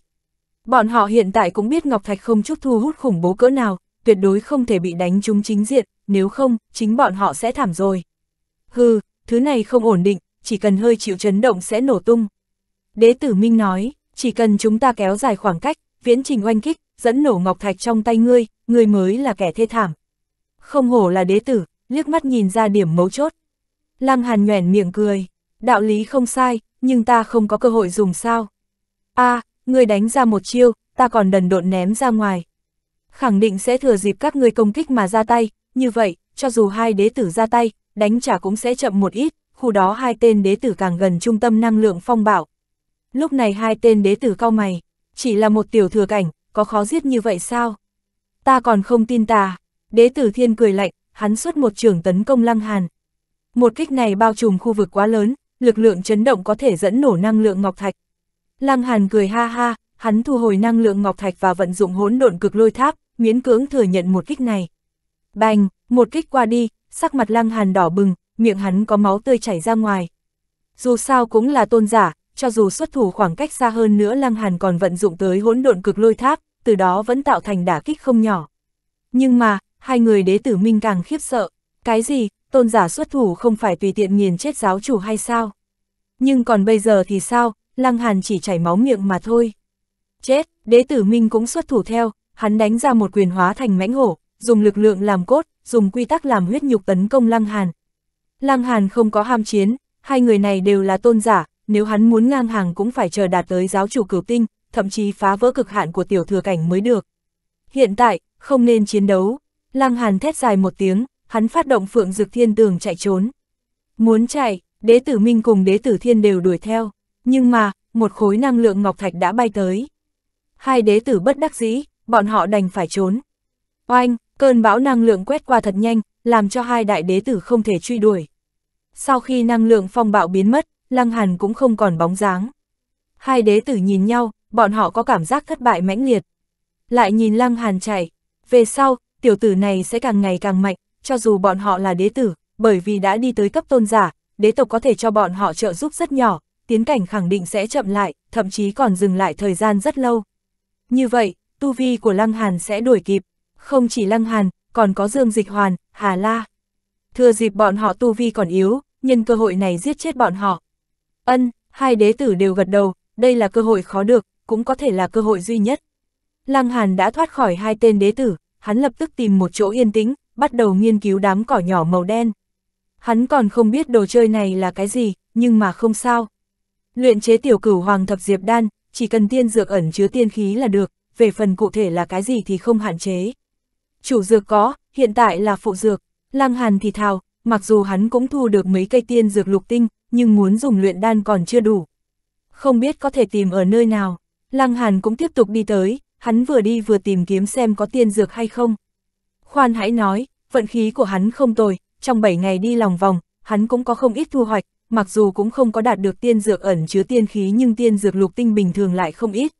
Còn kém ba loại, Lăng Hàn vui mừng, không nghĩ tới tất cả tiến hành thuận lợi như vậy.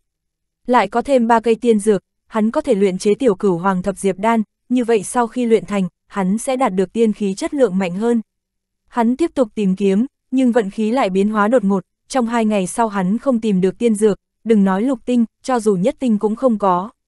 a à, hắn lại tìm một lần, cũng không có phát hiện tiên dược, phía trước lại xuất hiện cung điện. Tử phong điện, Lăng Hàn đi tới, hắn thấy có một người đang đứng ở cửa điện. Phong thái động lòng người, Thủy Thanh Sưởng, mặc dù đưa lưng về phía Lăng Hàn, nhưng thần thức của nàng nhạy cảm cỡ nào, nàng xoay người nhìn sang Lăng Hàn. Cùng là bá chủ nguyên thế giới, bọn họ bảy đại chúa tể có hảo cảm khó hiểu, Thủy Thanh Sưởng gật đầu với Lăng Hàn, xem như chào hỏi qua. Lăng Hàn hơi suy nghĩ, Thủy Mỹ Nữ, có tiên dược lục tinh hay không? Thủy Thanh Sưởng kinh ngạc, ngươi muốn làm cái gì?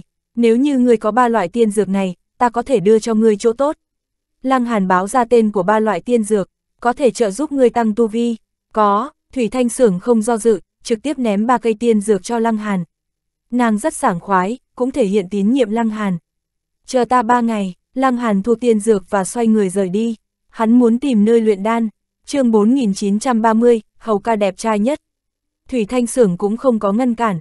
Mặc dù Lăng Hàn cầm đi ba gốc tiên dược lục tinh chân quý, cũng chỉ hứa hẹn một câu với nàng là đủ rồi. Thứ nhất, bởi vì cùng là bá chủ nguyên thế giới, nàng rất tín nhiệm Lăng Hàn. Thứ hai, ba cây tiên dược mặc dù là lục tinh nhưng không ẩn chứa tiên khí, cho nên, nàng cũng không xem như bảo bối đặc biệt. Nếu như Lăng Hàn thực sự hãm hại nàng, sau này nàng không tiếp xúc với Lăng Hàn mà thôi. Lăng Hàn rời xa cung điện, tin tưởng người tới đây sẽ gặm chết cung điện, hắn sẽ không tham gia náo nhiệt.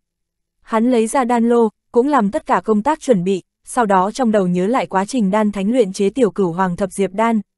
Tốt, có thể, hắn vô cùng tự tin, nói đến luyện đan, hắn còn ổn định hơn võ đạo rất nhiều. Oanh, lò lửa bộc phát, hắn ném dược liệu ra, bắt đầu luyện chế chân chính.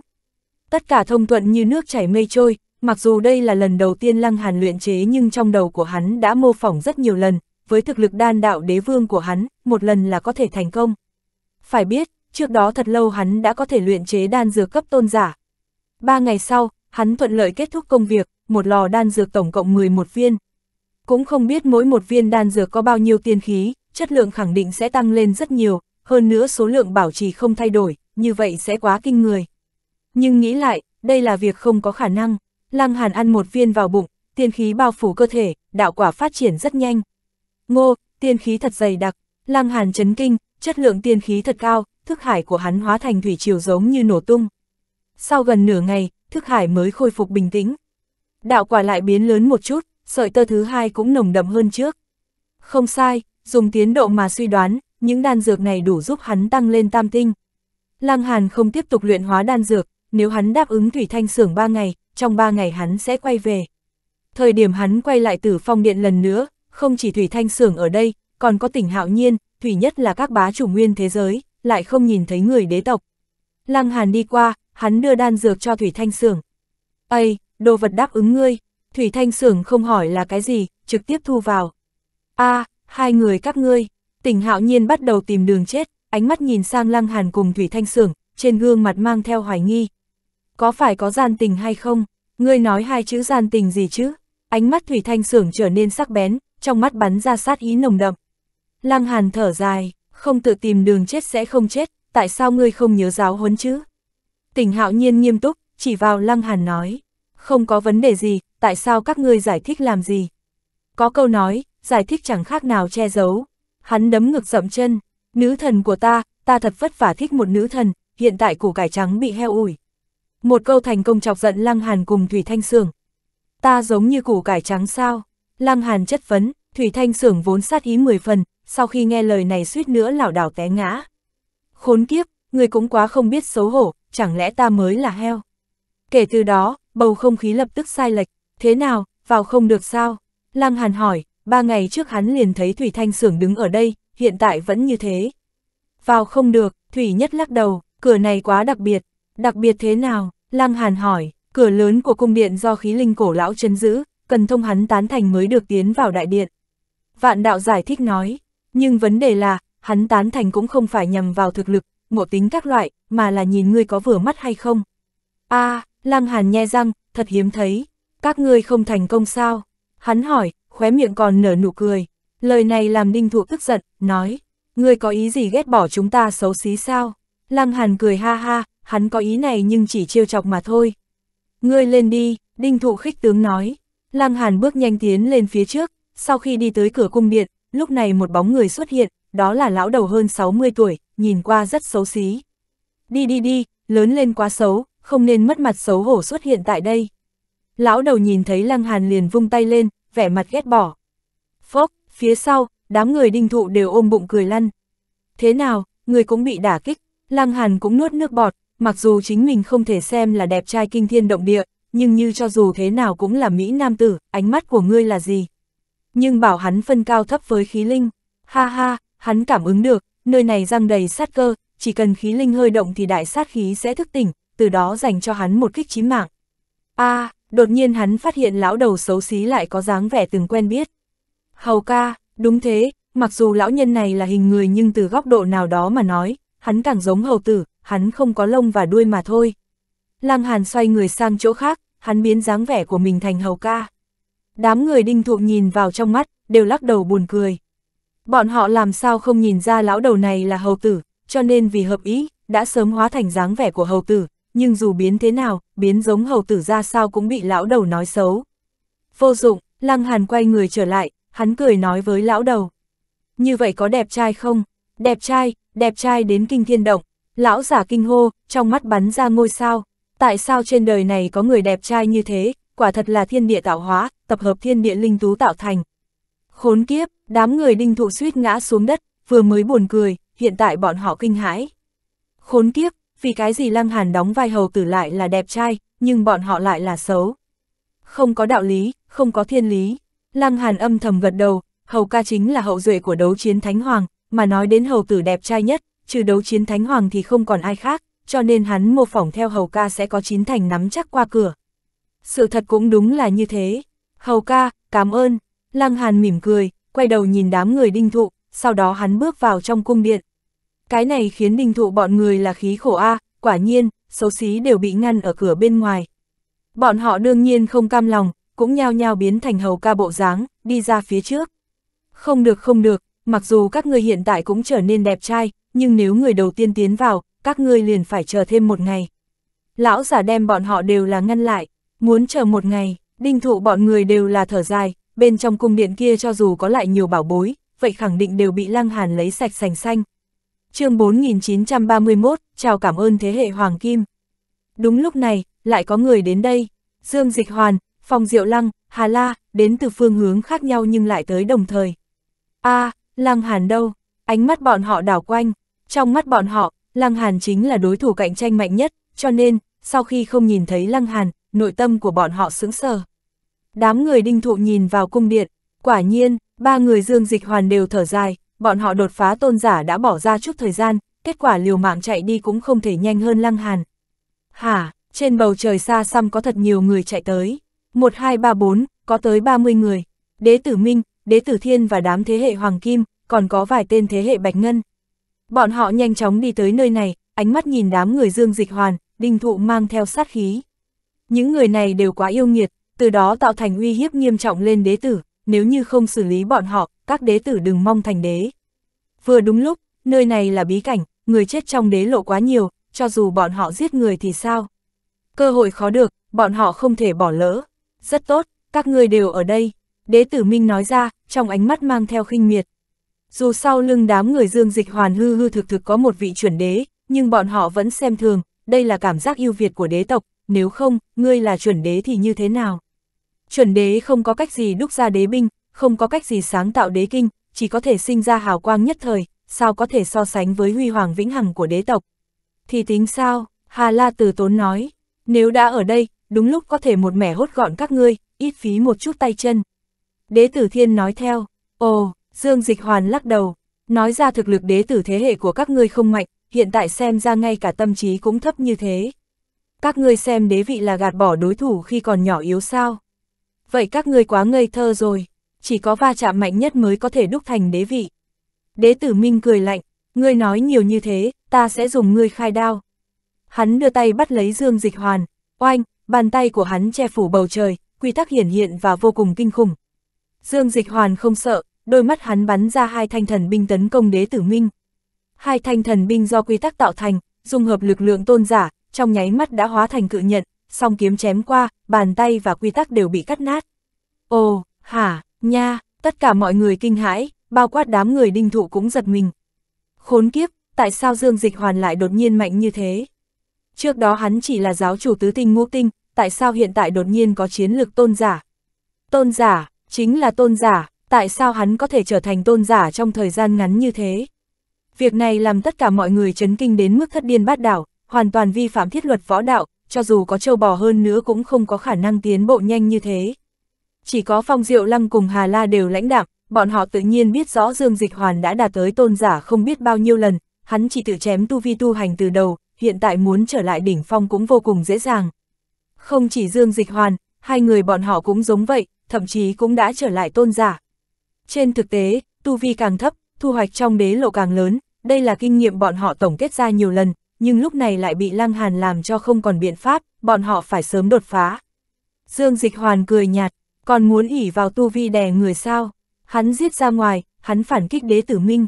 Hiện tại, người đang tự ăn ác quả. Oanh, hắn xuất ra hai quyền, một kích đánh ra chín đạo quy tắc thất tinh.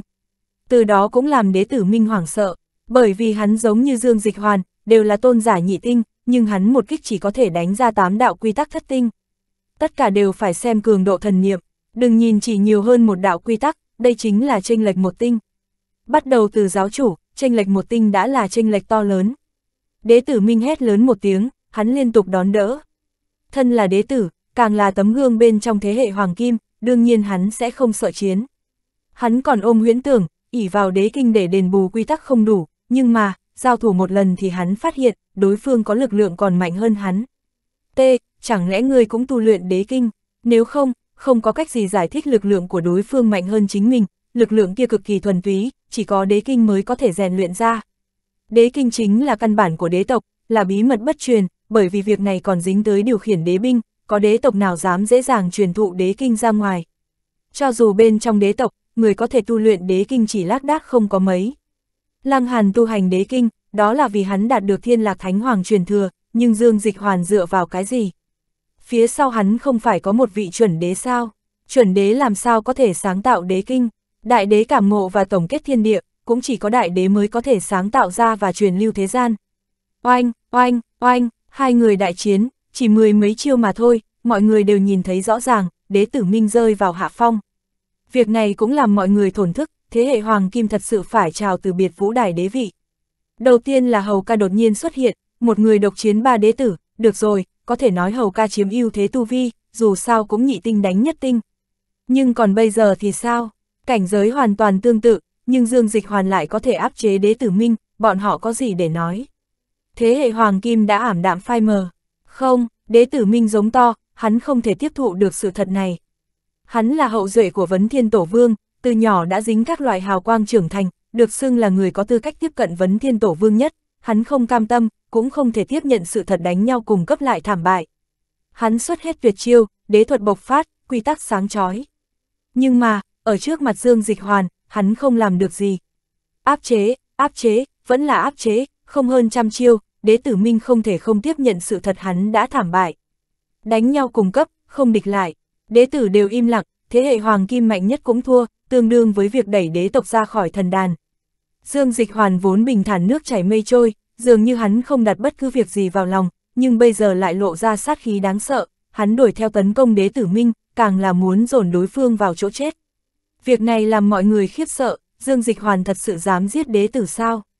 Nhưng người chứng kiến nhiều như thế, chẳng lẽ người muốn diệt khẩu tất cả mọi người? Nếu không, cho dù sau lưng ngươi là một vị chuẩn đế, nhưng giết thế hệ hoàng kim, vấn thiên đế tộc sẽ không cam tâm, khẳng định sẽ mời đế binh. Đế tử minh liều mạng phản kích, hắn càng đánh càng ngày càng rơi xuống hạ phong, nếu đánh tiếp, hắn phải chết không nghi ngờ. Hắn không dám chiến, hắn vội vàng bỏ chạy. chương 4932, Hà Tử Nhân. Lại nói tình huống sau khi Lăng Hàn tiến vào cung điện, hắn phát hiện nơi này có gió lớn thổi qua, hơn nữa còn là hữu hình. Gió màu tím, gió còn có màu sắc, Lăng Hàn kinh ngạc, hắn quan sát tỉ mỉ, sở dĩ gió có màu tím, đó là bởi vì trong gió có vật chất màu tím. Nhưng loại vật chất này giống như cũng là khí thể, quét qua làn da không gây a ra cảm giác gì. Lăng Hàn mở nhãn thuật ra tỉ mỉ quan sát, không, vật chất màu tím là hình tròn rất nhỏ, số lượng rất nhiều, bởi vậy, chúng phiêu động tạo thành cơn gió màu tím. Những vật chất này đánh vào người, bám vào làn da, hơn nữa còn bị hấp thu. A, à, Lăng Hàn kinh ngạc, những vật chất màu tím này tiến vào thân thể sẽ giấu ở dưới da, ngừng tụ thành một tầng màng mỏng. Giống như đây là làn da thứ hai, Lăng Hàn cảm ứng một chút, hắn cảm thấy tầng màng mỏng màu tím này vô cùng cứng chắc. Đủ để tiếp nhận một kích toàn lực của giáo chủ ngoài lục tinh mới vỡ vụn. Hắn thì thào, ánh mắt mang theo khiếp sợ, mấu chốt là, vật chất màu tím không ngừng tràn vào trong cơ thể, tầng mô kia càng ngày càng dày. T, tiếp tục như vậy sẽ đạt tới mức có thể chống cự một kích của tôn giả cấp thậm chí thánh nhân. Khoa trương như thế, Lăng Hàn đi lên phía trước, cơn gió cứ thổi qua, hắn cũng hấp thu vật chất màu tím. Tốc độ rất nhanh, vật chất màu tím không ngừng tràn vào thân thể của hắn, từ đó làm tầng màn thật mỏng dày hơn. Không đúng, không phải dày, mà là dày đặc. Lấy một thí dụ, trước đó có một hạt vật chất màu tím hình thành màng mỏng, hiện tại nó biến thành 120 hạt, 150 hạt, hơn nữa còn không ngừng gia tăng. Hắn đi tới phần cuối cung điện, hắn nhìn thấy một khối ngọc bản rất mỏng, phía trên có một chút văn tự. Lăng Hàn quan sát, đó là miêu tả về vật chất màu tím. Thứ này tên là hạt tử nhân, trong tình huống hấp thu đầy đủ, nó sẽ hình thành tầng phòng ngự thậm chí có thể ngăn cản một kích toàn lực của thánh nhân ngũ tinh. Nhưng mà, sau mỗi lần hấp thu đả kích, hạt tử nhân sẽ mất đi một phần hoạt tính, mà khi tất cả hoạt tính mất hết, thứ này sẽ mất đi tác dụng, cũng bị tống ra khỏi cơ thể. Trên lý luận mà nói, hắn có thể tiếp nhận thánh nhân oanh kích 5 lần, đương nhiên, hạn mức cao nhất chính là thánh nhân ngũ tinh, nếu như tiếp nhận thánh nhân cửu tinh oanh kích, có lẽ màng tử nhân cũng không thể bảo vệ lăng hàn, hắn sẽ chết. Cấp tôn giả oanh kích, hắn có thể tiếp nhận tới 80 lần, hơn nữa hạn mức cao nhất là tôn giả cửu tinh. Thời điểm không cần chiến đấu là có thể ẩn sâu vào trong cơ thể, bằng không mỗi lần chiến đấu sẽ được tiêu hao một bộ phận sức sống, cho dù là giáo chủ chiến đấu cũng làm cho hạt tử nhân mất đi hoạt tính hoàn toàn. Lăng Hàn thì thào tự nói, sau gần nửa ngày, ngọn gió màu tím trong cung điện giảm bớt một nửa, đã có một nửa hạt tử nhân bị hắn hấp thu. Nhưng hắn cũng đạt tới cực hạn, hắn không cách nào tiến thêm một bước. Lăng Hàn cảm thấy tiếc nuối, không thể hấp thu tất cả hạt tử nhân, cần phải tiện nghi cho những người khác. Chỉ một mình hắn chiếm hơn phân nửa, những người khác chỉ có thể chia sẻ, tranh lệch trong đó không phải chỉ có một chút. Nghĩ như vậy, hắn cũng suy nghĩ thông suốt, Lăng Hàn tìm kiếm chung quanh, nơi này có một cái truyền tống môn có thể rời đi. Đi, hắn không do dự, hắn bước ra ngoài, không gian chuyển đổi, hoàn cảnh biến hóa. Lăng Hàn lại nhìn, hắn đang ở trong một dòng sông băng, Hàn ý đánh tới, hắn dùng mình run rẩy. Ngoá, tại sao lạnh như vậy? Lăng Hàn nhe răng, Hàn ý xâm nhập vào trong xương. Hắn cất bước rời đi, Hàn ý càng lạnh, không khí như hóa thành lưỡi đao, không ngừng cắt phá thân thể của hắn, quần áo cũng không có hiệu quả chống lạnh. Chẳng lẽ ta phải sử dụng hạt tử nhân ở đây sao? Lăng Hàn thầm nghĩ, tâm niệm khẽ động, hắn mang pháp trượng thánh cấp ra ngoài, kích hoạt hạt châu trong đó, lúc này một quang thuẫn bao phủ hắn vào trong. Gió thổi qua nhưng không có phá. Ha ha, có thể. Lăng Hàn gật đầu, tay phải nâng trượng và rời đi thật nhanh. Được rồi, sau gần nửa ngày, hắn phát hiện nhiệt độ dần dần tăng lên, mặc dù vẫn rét lạnh nhưng hắn có tiên thiên thần vật bảo vệ, Lăng Hàn cũng không cần sợ. Chẳng lẽ dựa theo phương pháp bình thường mới có thể tiến lên hay sao? Mặc kệ, ta có bảo vật che chở, ta cần dựa theo quy củ hay sao? Đi một hồi, hắn ngửi được mùi hương thơm ngát, cái mũi của hắn co giật, hắn vội vàng lần theo mùi thơm mà đi, hắn tìm thấy một cái huyệt động. Hang động cũng không sâu, chỉ đi vài bước là tới, phía dưới là một cái hố, bên trong chứa đầy chất lỏng màu trắng, chính thứ này tỏa ra mùi hương thơm ngát. Đây là linh nhũ gì? Ách, nếm thử trước đã. Lăng Hàn uống một hớp nhỏ, toàn thân của hắn ấm áp, sức sống cháy hừng hực. Đây là bảo dịch kích phát, cường tráng sức sống. Hắn phán đoán, hắn rất vui mừng, kiếm lợi lớn, mặc dù hắn hiện tại rất trẻ tuổi, huyết khí phương cương, sức sống dồi dào, nhưng có ít người kẹt ở cảnh giới nào đó vô số năm, rõ ràng đã có hy vọng đột phá, lại bởi vì sức sống không đủ, khí huyết bại hoại, từ đó không thể đột phá, nếu không tất nhiên sẽ hao hết khí huyết, trực tiếp tử vong. Cho nên, nếu như dùng bảo dịch này đổi với một lão tôn giả thiếu sức sống nào đó, tin tưởng có thật nhiều người nguyện ý dùng cái giá lớn để đổi. Hắn cẩn thận thu bảo dịch vào một bình ngọc, vào lúc này có một giọt chất lỏng từ vách núi rơi xuống. Lăng Hàn vội vàng đưa tay khống chế rơi vào bình ngọc. Ân, bảo dịch này cũng không phải là suối chảy ra, mà là từ phía trên nhỏ xuống. Lăng Hàn nhìn lên, chỉ thấy vách động ẩm ướt, nó đang chậm rãi ngưng tụ một giọt bảo dịch. Xem tình hình như thế, nửa ngày mới ngưng tụ ra một giọt. Hắn thử đào tìm kiếm căn nguyên của bảo dịch nhưng không thành công. Vách đá quá kiên cố, sau khi hắn sử dụng năng lượng hủy diệt lại cảm ứng được áp lực nguy hiểm. Có lẽ, thời điểm hắn phá vỡ vách đá sẽ có đại sát cơ. Được rồi, thu hoạch đã không nhỏ, hơn nữa cũng không có thời gian chậm rãi chờ ở nơi này, nói không chừng phía trước còn có đồ tốt. Hắn xuất động, hắn giật mình, quá lạnh, lui một bước về trong động, nhiệt độ tăng cao trở lại. Lăng Hàn gật đầu, kỳ thật không có hạt châu tiên thiên cũng có thể thông qua nơi này, chỉ cần nhiệt độ không khí tăng lên phải gấp rút lên đường, sau đó tìm nơi tránh cái lạnh là được. Quản khỉ gió nó là cái gì? Lăng Hàn nhanh chân rời đi, hắn có bảo vật tiên thiên nên không cần phải sợ. Lại đi nửa ngày, hắn phát hiện cái động thứ hai, nhưng nơi này cũng không có mùi thơm ngát truyền ra. Mặc kệ thế nào, hắn vào động đã. Lăng Hàn đi vào tìm chung quanh, khẳng định không có bảo dịch, hắn cũng không tìm được vật gì khác. Đây là hang động trống trải, chỉ có thể tránh cái lạnh mà thôi. Lăng Hàn thở dài, hắn tiếp tục tiến lên phía trước. chương 4933, con đường quy tắc. Lăng Hàn liên tiếp tiến lên, trên đường đi hắn phát hiện không ít hang động tránh rét, hắn lại không tìm được bảo dịch và thứ gì khác. Nghĩ lại cũng phải, bảo dịch thật sự vô cùng chân quý, nếu dùng tốt, hắn có thể đổi được không ít tiên dược thất tinh. Người nên biết đủ, sau ba ngày, cuối cùng Lăng Hàn đi ra khỏi sông băng, phía trước xuất hiện một cái hạp gốc. Lăng Hàn nghĩ nghĩ, quyết định luyện hóa tiểu cửu hoàng thập diệp đan gia tăng thực lực của mình lên. Hắn tìm một chỗ yên tĩnh, cũng cầm đan dược luyện hóa. Một viên, hai viên, ba viên, sau khi hắn luyện 11 viên, lúc trước ăn một viên, lại cho Thủy Thanh xưởng một viên, hiện tại còn 9 viên. Mỗi một viên đều mang tiên khí giúp đạo quả lớn mạnh một đoạn, sau khi hắn ăn 8 viên, sợ tơ màu vàng trên đạo quả thứ hai đạt tới trạng thái viên mãn. Giáo chủ nhị tinh đỉnh phong, hắn bỏ ra chút thời gian đi xung kích giáo chủ tam tinh, hắn chỉ tăng lên một tiểu cảnh giới, cũng không cần tích lũy quá nhiều, hoàn toàn có thể tăng cảnh giới lên và chậm rãi củng cố. Đạo quả thụ cũng trưởng thành hơn rất nhiều, nó chập chờn trong thức hải, có một loại vận luật kỳ lạ. Lăng Hàn ăn một viên tiểu cửu hoàng thập diệp đan cuối cùng, sợi tơ màu vàng thứ ba xuất hiện trên đạo quả. Lần này đột phá, hắn bỏ ra thời gian 6 ngày. Lăng Hàn trở lại hẻm núi, hắn phát hiện nơi này đã có rất nhiều người tới. Đã có khách quen như Dương Dịch Hoàn, Phong Diệu Lăng, cũng có bá chủ nguyên thế giới như Đinh Thụ, Thủy Nhất, mặt khác, đế tử Minh, đế tử Thiên đều tới, nhưng hai đế tử mạnh nhất lại cảm giác thất bại, giống như bị đả kích trọng đại. Hơn nữa, các đế tử khác càng bó tay bó chân giống như hài tử làm sai chuyện. Đây là việc lạ, mặt khác, hầu ca cũng đến, hắn đang vượt qua hẻm núi. Bọn họ cũng không có tiến vào lối vào hẻm núi, mà là ở trên vách núi, kết nối hai vách núi này là từng sợi tơ, nếu quan sát tỉ mỉ sẽ phát hiện sợi tơ do quy tắc cụ thể hóa biến thành. Người đi ở phía trên, sợi tơ quy tắc rung động, người sẽ rơi xuống dưới, cho nên, người đi phía trên phải cộng minh với quy tắc, phải di động theo quy tắc, lại hòa làm một thể với quy tắc. Lăng Hàn nhìn thấy một tên thế hệ bạch ngân đi lên, hắn kêu thảm thiết, cũng rơi ra khỏi sợi tơ quy tắc, hắn chẳng khác gì tảng đá lớn rơi xuống nước, hắn không thể bay và rơi xuống đáy cốc. Quả nhiên, nơi này không thể bay. Lăng Hàn đi tới, hắn không có chào hỏi hầu ca, lúc này hầu ca đang chuyên tâm cộng minh với quy tắc, ngàn vạn không nên làm đối phương phân tâm. Ha ha, Lăng Hàn, đám người đinh thụ còn chưa vượt qua, bọn họ tiến tới chào hỏi Lăng Hàn. Lăng Hàn gật đầu, hắn hỏi thăm mọi người một chút. Mặc dù đám người đinh thụ mới tới lần đầu, nhưng không phải tới từ lâu, hơn nữa còn có đám người dương dịch hoàn tới đây quá nhiều lần, có thể tìm hiểu chút tình huống.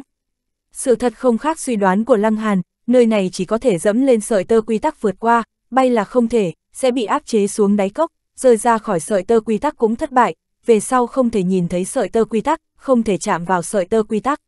Ý nghĩa sẽ mất đi khả năng vượt qua sân cốc, phải chờ tới khi đế lộ đóng lại và bị ném ra bên ngoài. Cho nên, mỗi người đến nói, cơ hội chỉ có một lần. Kỳ thật có rất nhiều sợi tơ quy tắc, nơi này có hơn 40 người, hoàn toàn có thể cho mỗi người nếm thử.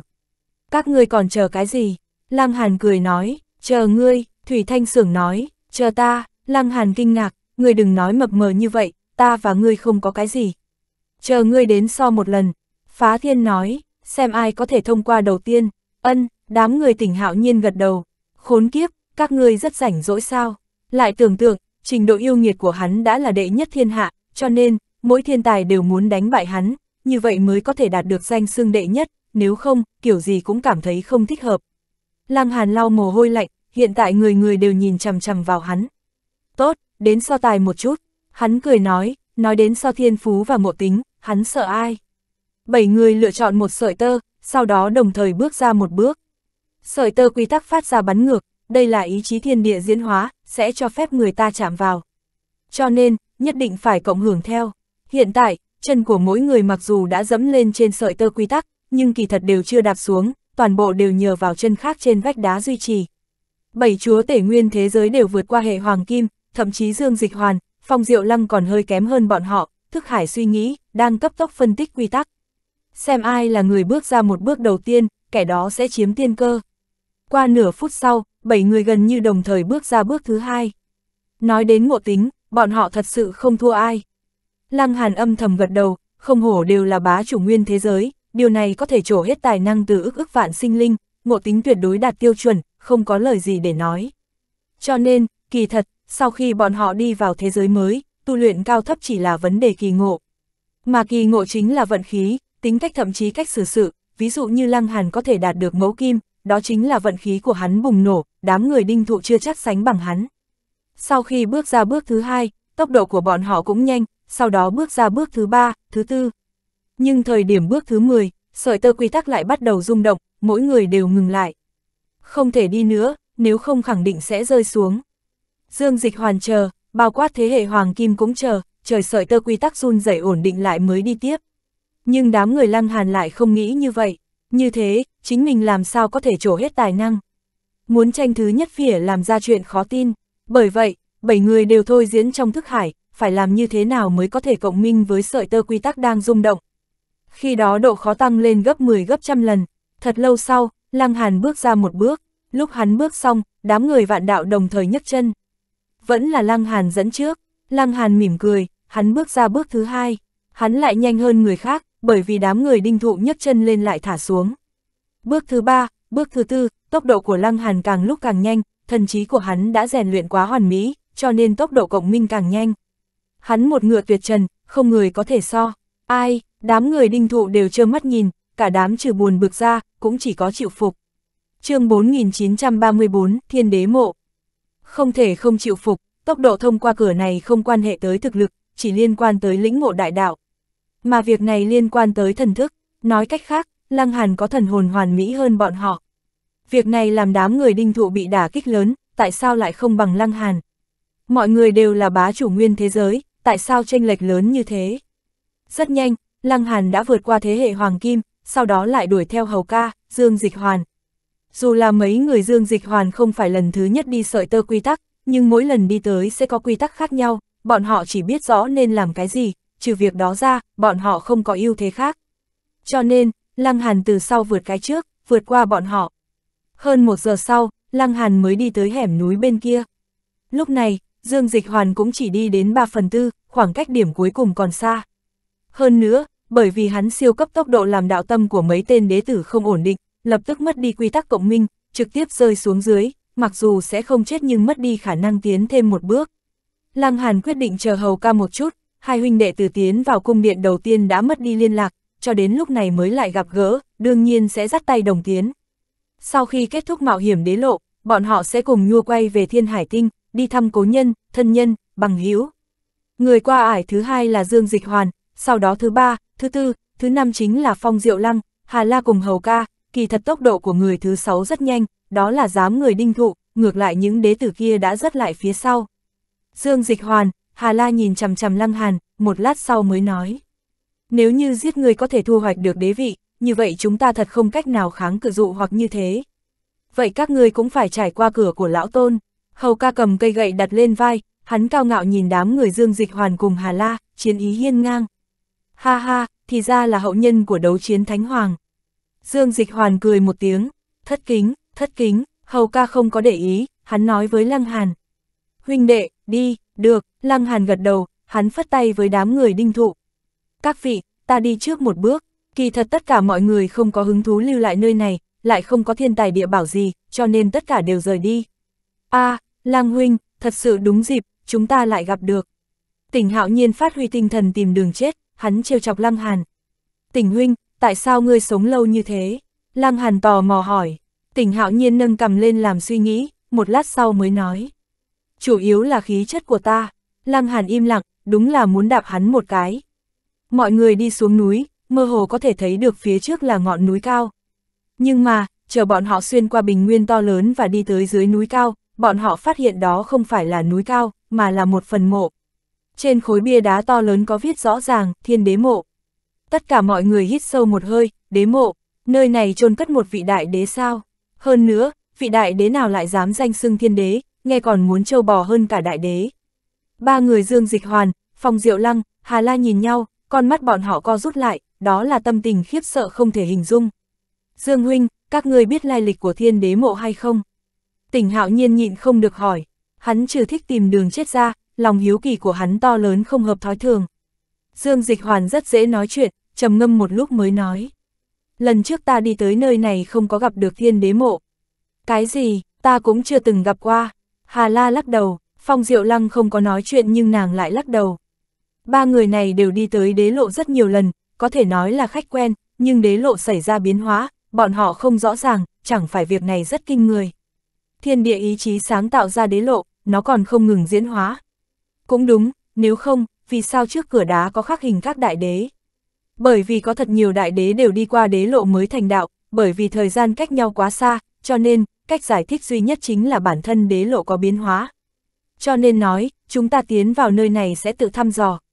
Thủy Nhất trầm ngâm nói, ha ha, đến đâu thì hay đến đó, chúng ta còn gì phải sợ. Tỉnh hạo nhiên lộ ra hào khí vượt mây, hầu ca dứt khoát, trực tiếp cất bước đi vào bên trong.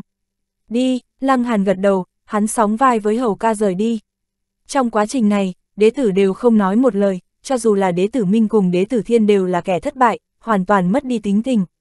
Không có biện pháp, trước đó đế tử Minh bị Dương Dịch hoàn thảm bại, truy sát vô số vạn dặm, cuối cùng mới may mắn thoát được một mạng, trong lòng sinh ra ám ảnh khó có thể hình dung, sao còn dám tự rước lấy nhục. Nhưng bọn họ đều nói trong lòng, chỉ cần ra khỏi đế lộ, tất nhiên sẽ mời thánh nhân trong tộc xuất thủ xử lý những người này, nếu không, đế vị sẽ không có quan hệ với bọn họ. Bộ tộc của Hầu Ca Cương mãnh bá đạo, thà bị gãy chứ không chịu cong, gặp được nguy hiểm sẽ càng vượt khó tiến lên, hắn đi vào thông đạo mà không sợ hãi. Lăng Hàn đuổi kịp, thần ý mở ra, cảm ứng chung quanh, hắn cực kỳ cẩn thận. Đi một lúc, trong thông đạo sáng lên, toàn bộ lòng núi đều bị đào rỗng, không gian to lớn, có ngọn lửa bảy màu bốc lên, có thác nước đảo ngược trên bầu trời, có tiên kim mỹ lệ tỏa sáng. Cẩn thận, đột nhiên hầu ca quát lớn, sau đó bỗng nhiên giơ cây gậy chỉ về phía trước. Yêu nghiệt phương nào, hiện thân đi. Lăng Hàn ngưng mắt nhìn, hắn nhìn thấy bóng hình mông lung, hoàn toàn không rõ là người hay yêu. Tiểu hầu tử, bản tính rất lớn. Một tiếng nói giả nua vang lên, bóng hình kia hiện ra, khi đi tới gần, tầng mông lung kia biến mất, đó là một lão giả. Lăng Hàn nói, tiền bối, là ngươi, đó là lão nhân mời hắn uống rượu tuế nguyệt, lúc hắn tỉnh lại thì lão nhân đã biến mất, không nghĩ tới lại xuất hiện ở nơi này. Lão giả cười hắc hắc, người trẻ tuổi, người có tạo hóa rất lớn. Hầu ca gãi gãi đầu, sau đó lại quát to một tiếng. Này, người đến cùng là ai? Lão phu nha, lão giả lộ ra vẻ mặt nhớ lại, nói. Lão phu tên là Hàn Vân, người thủ mộ. Đúng vậy, trước đó trong tuế nguyệt mộ đã gặp hắn ở đó, hiện tại lại là thiên đế mộ. Hàn tiền bối, lăng hàn ôm quyền, ngài đã sớm tới nơi này, không biết có thể chỉ giáo chúng ta hay không. Lúc này, mấy người đinh thụ, Thủy Nhất cũng từ phía sau đi tới, phát hiện nơi này có lão giả thì ngạc nhiên. chương 4935, Triệu Hoán. Phải biết, tiến vào đế lộ là có tuổi tác hạn chế, không phải ai cũng có thể đi vào. Cho nên, lão đầu này tuổi tác lớn như thế, cho dù thế nào cũng không phù hợp điều kiện nha. Chẳng lẽ, hắn là thổ dân? Hàn Vân cười cười, nói, yên tâm yên tâm, lão phu không thuộc về nơi này, tất cả chỉ là người đứng xem, không thể lấy, nếu không lão thiên gia sẽ không tha cho lão phu. T, lời này có ý gì? Chẳng lẽ hắn cũng không phải là thổ dân nơi đây, mà là kẻ bên ngoài, chỉ việc hắn không phù hợp quy củ xuất hiện trong đế lộ, mà là không biết dùng phương pháp gì đi vào, cho nên, hắn cũng không thể phá hư quy củ, cũng không thể cướp đoạt cơ duyên với người trẻ tuổi. Tiền bối, nơi này thực sự có chôn một vị đại đế sao? Lăng Hàn hỏi, Hàn Vân lắc đầu, nơi này cũng không có thi thể đại đế, nơi này lại có cơ duyên liên quan tới đại đế, cũng không biết các ngươi có ai lấy được. Hắn vừa nói lời này, mọi người đều hưng phấn, chỉ cần liên quan tới đại đế, đây là cơ duyên kinh người. Đi thôi, lão phu cũng chờ các người mở đế lộ ra, ta cũng nên đi ra ngoài. Hàn Vân cười nói, dù sao, lừa gạt lão tặc thiên lâu như vậy, nếu lại phá hư quy củ, có khả năng lão tặc thiên sẽ chém chết lão phu. Lời này nghe dọa người, bởi vì có mấy người đủ tư cách bị lão thiên gia chém chết. Dù đột phá thành thánh nhân, thiên địa cũng chỉ dáng tâm ma. Trừ phi làm ra tội ác tài trời, thiên đạo mới có thể hạ xuống lôi phạt, từ đó xóa người đó đi. Cho nên nói, người có thể bị thiên đạo xuất thủ xóa đi, khẳng định đều mạnh đến mức không hợp thói thường. Hàn Vân không nói nữa, thân hình trở nên mông lung, không người nào có thể khám phá. Ngay cả tôn giả cũng không thể khám phá, thực lực lão đầu mạnh cỡ nào. Thánh nhân, tất cả mọi người không dám quấy nhiễu, thiên hạ thời kỳ không đế, tự nhiên lấy thánh nhân vi tôn, ai dám bất kính. Bọn họ nhao nhao vượt qua Hàn Vân, tiếp tục đi tới. Nơi này cũng không có cơ quan gì, cũng không có cấm chế gì, tất cả đều là rất bình tĩnh, giống như chỉ là hang động bình thường. Nhưng mà, lại đi một đoạn thì khác, lực cản lại tới, sức cản này cũng không phải là tuyệt đối, mà là bởi vì cảnh giới khác nhau sẽ có nhắm vào khác nhau, mặc dù hầu ca là tôn giả, nhưng hắn sẽ không nhẹ nhõm hơn lăng hàn, hắn tiếp nhận áp lực còn cường đại gấp trăm lần thậm chí nghìn lần. Sau khi đi lên phía trước trăm trượng, mạnh như hầu ca cũng không thể không ngừng lại. Sức cản đã mạnh tới mức hắn không thể tiến lên nhưng với bá khí của hầu ca thì làm sao đồng ý dừng bước. Hắn hét lớn một tiếng, côn sắt trong tay vận chuyển, hắn mạnh mẽ bổ tới và tiến lên. Cương mãnh phải nói đạo lý, hắn lại đi tới 10 trượng, nhưng lần này là thật sự đạt tới cực hạn, hầu ca có vung côn sắt cũng không thể làm gì. Hầu ca tức giận gào to, hắn há miệng cắn vào không khí, giống như muốn cắn chết kẻ thù vô hình. Lăng Hàn tâm niệm vừa động, hắn vận dụng hỗn độn cực lôi tháp và đi tới gần hầu ca. Nhưng mà, lần này ngay cả chuẩn đế binh cũng vô dụng, đối mặt lực cản, nó lại không có hiệu quả chút nào. a à, vậy phải làm thế nào? Lăng Hàn nhanh tay động thủ, oanh, năng lượng hủy diệt sôi trào, lập tức, lực cản biến mất.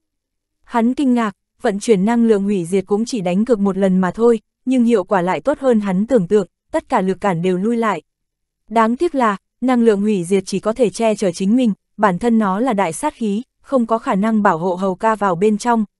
Thấy Lăng Hàn tiến lên không trở ngại, hầu ca gật đầu. Huynh đệ, ngươi đi trước. Lăng Hàn do dự một chút, nói, tốt, không mặc có thu hoạch gì, hắn cũng sẽ chia sẻ với hầu ca. Hắn nhanh chân tiến lên, sau lưng hắn, đám người đinh thụ, phá thiên đều vận chuyển năng lượng hủy diệt, áp lực cũng giảm đi, trái lại vạn đạo, thủy nhất rêu là bá chủ nguyên thế giới nhưng không có tu hành năng lượng hủy diệt, chỉ có thể lực bất tòng tâm. Sau khi đi chừng 10 phút, lực cản đột nhiên biến mất. Phía trước xuất hiện rừng cột đá, số lượng nhiều không thể hình dung, mà mỗi một cây cột đá đều phát sáng khác nhau. Hàn Vân nói tới đại cơ duyên, là đồ đặc liên quan tới đại đế, nó ở nơi này sao? a à, Lăng Hàn ngẩn người, hắn có cảm giác, giống như có cái gì đó đang triệu hoán chính mình. Khó mà nói đây là thứ gì, tóm lại, nó thành lập liên hệ với hắn và chỉ hướng mông lung. Hắn nhìn về phía đám người đinh thụ, chỉ thấy bốn người này cũng cũng nhìn về một hướng. Xem ra, mỗi người đều có tồn tại đang kêu gọi. Đại đế di bảo, nhưng vì sao lại là bọn họ? Phải biết, thiên đế mộ không xuất hiện vào những lần trước, điểm ấy do ba người dương dịch hoàn chứng minh, như vậy có thể suy đoán, cái gọi là thiên đế cực kỳ có khả năng là một vị đại đế. Vị đại đế này là ai? Tư liệu lịch sử không có ghi chép, chỉ biết thật sự có một vị như thế tồn tại. Vấn đề là, vị đại đế này có quan hệ gì với năng lượng hủy diệt? Có quan hệ gì với nguyên thế giới? Muốn nói không có quan hệ, vì cái gì chỉ có bá chủ nguyên thế giới mới có thể tu tập năng lượng hủy diệt, cũng chỉ có bọn họ mới có thể đi vào đây. Nếu như tìm ra di bảo của đại đế này, có thể khám phá tất cả bí mật. Đám người đều là bắt đầu chuyển động, đi vào sâu trong rừng đá. Đi một hồi, bọn họ dần dần ngừng lại, bởi vì cảm ứng cực kỳ yếu ớt và đứt gãy. Ở trong quá trình này, Lăng Hàn phát hiện, mỗi người cảm ứng có cường độ khác nhau, hắn là mạnh nhất, bởi vì liên hệ không có đứt gãy, kế tiếp là đinh thụ. Đây là do nắm giữ cường độ năng lượng hủy diệt quyết định. Xem ra, Lăng Hàn nắm giữ 8 góc hủy diệt linh đồ, tiếp theo chính là đinh thụ, việc này quan hệ tới linh đồ. Lăng Hàn tươi cười, xem ra di bảo đại đế là của hắn. Hắn ra tốc tiến lên, hắn xuyên qua rừng đá, trái lách phải rẽ, hắn nhanh chóng bỏ rơi mọi người. Ở chỗ này, rừng đá lít nha lít nhít, từ đó ảnh hưởng tới ánh mắt cực lớn, bọn họ cũng không nhìn ra xa, tia sáng có tác dụng che đậy thần thức, cho nên, tùy tiện đi mấy bước là có thể bỏ rơi người khác. Lăng Hàn càng chạy càng nhanh, hắn nhất định phải nắm chặt thời gian.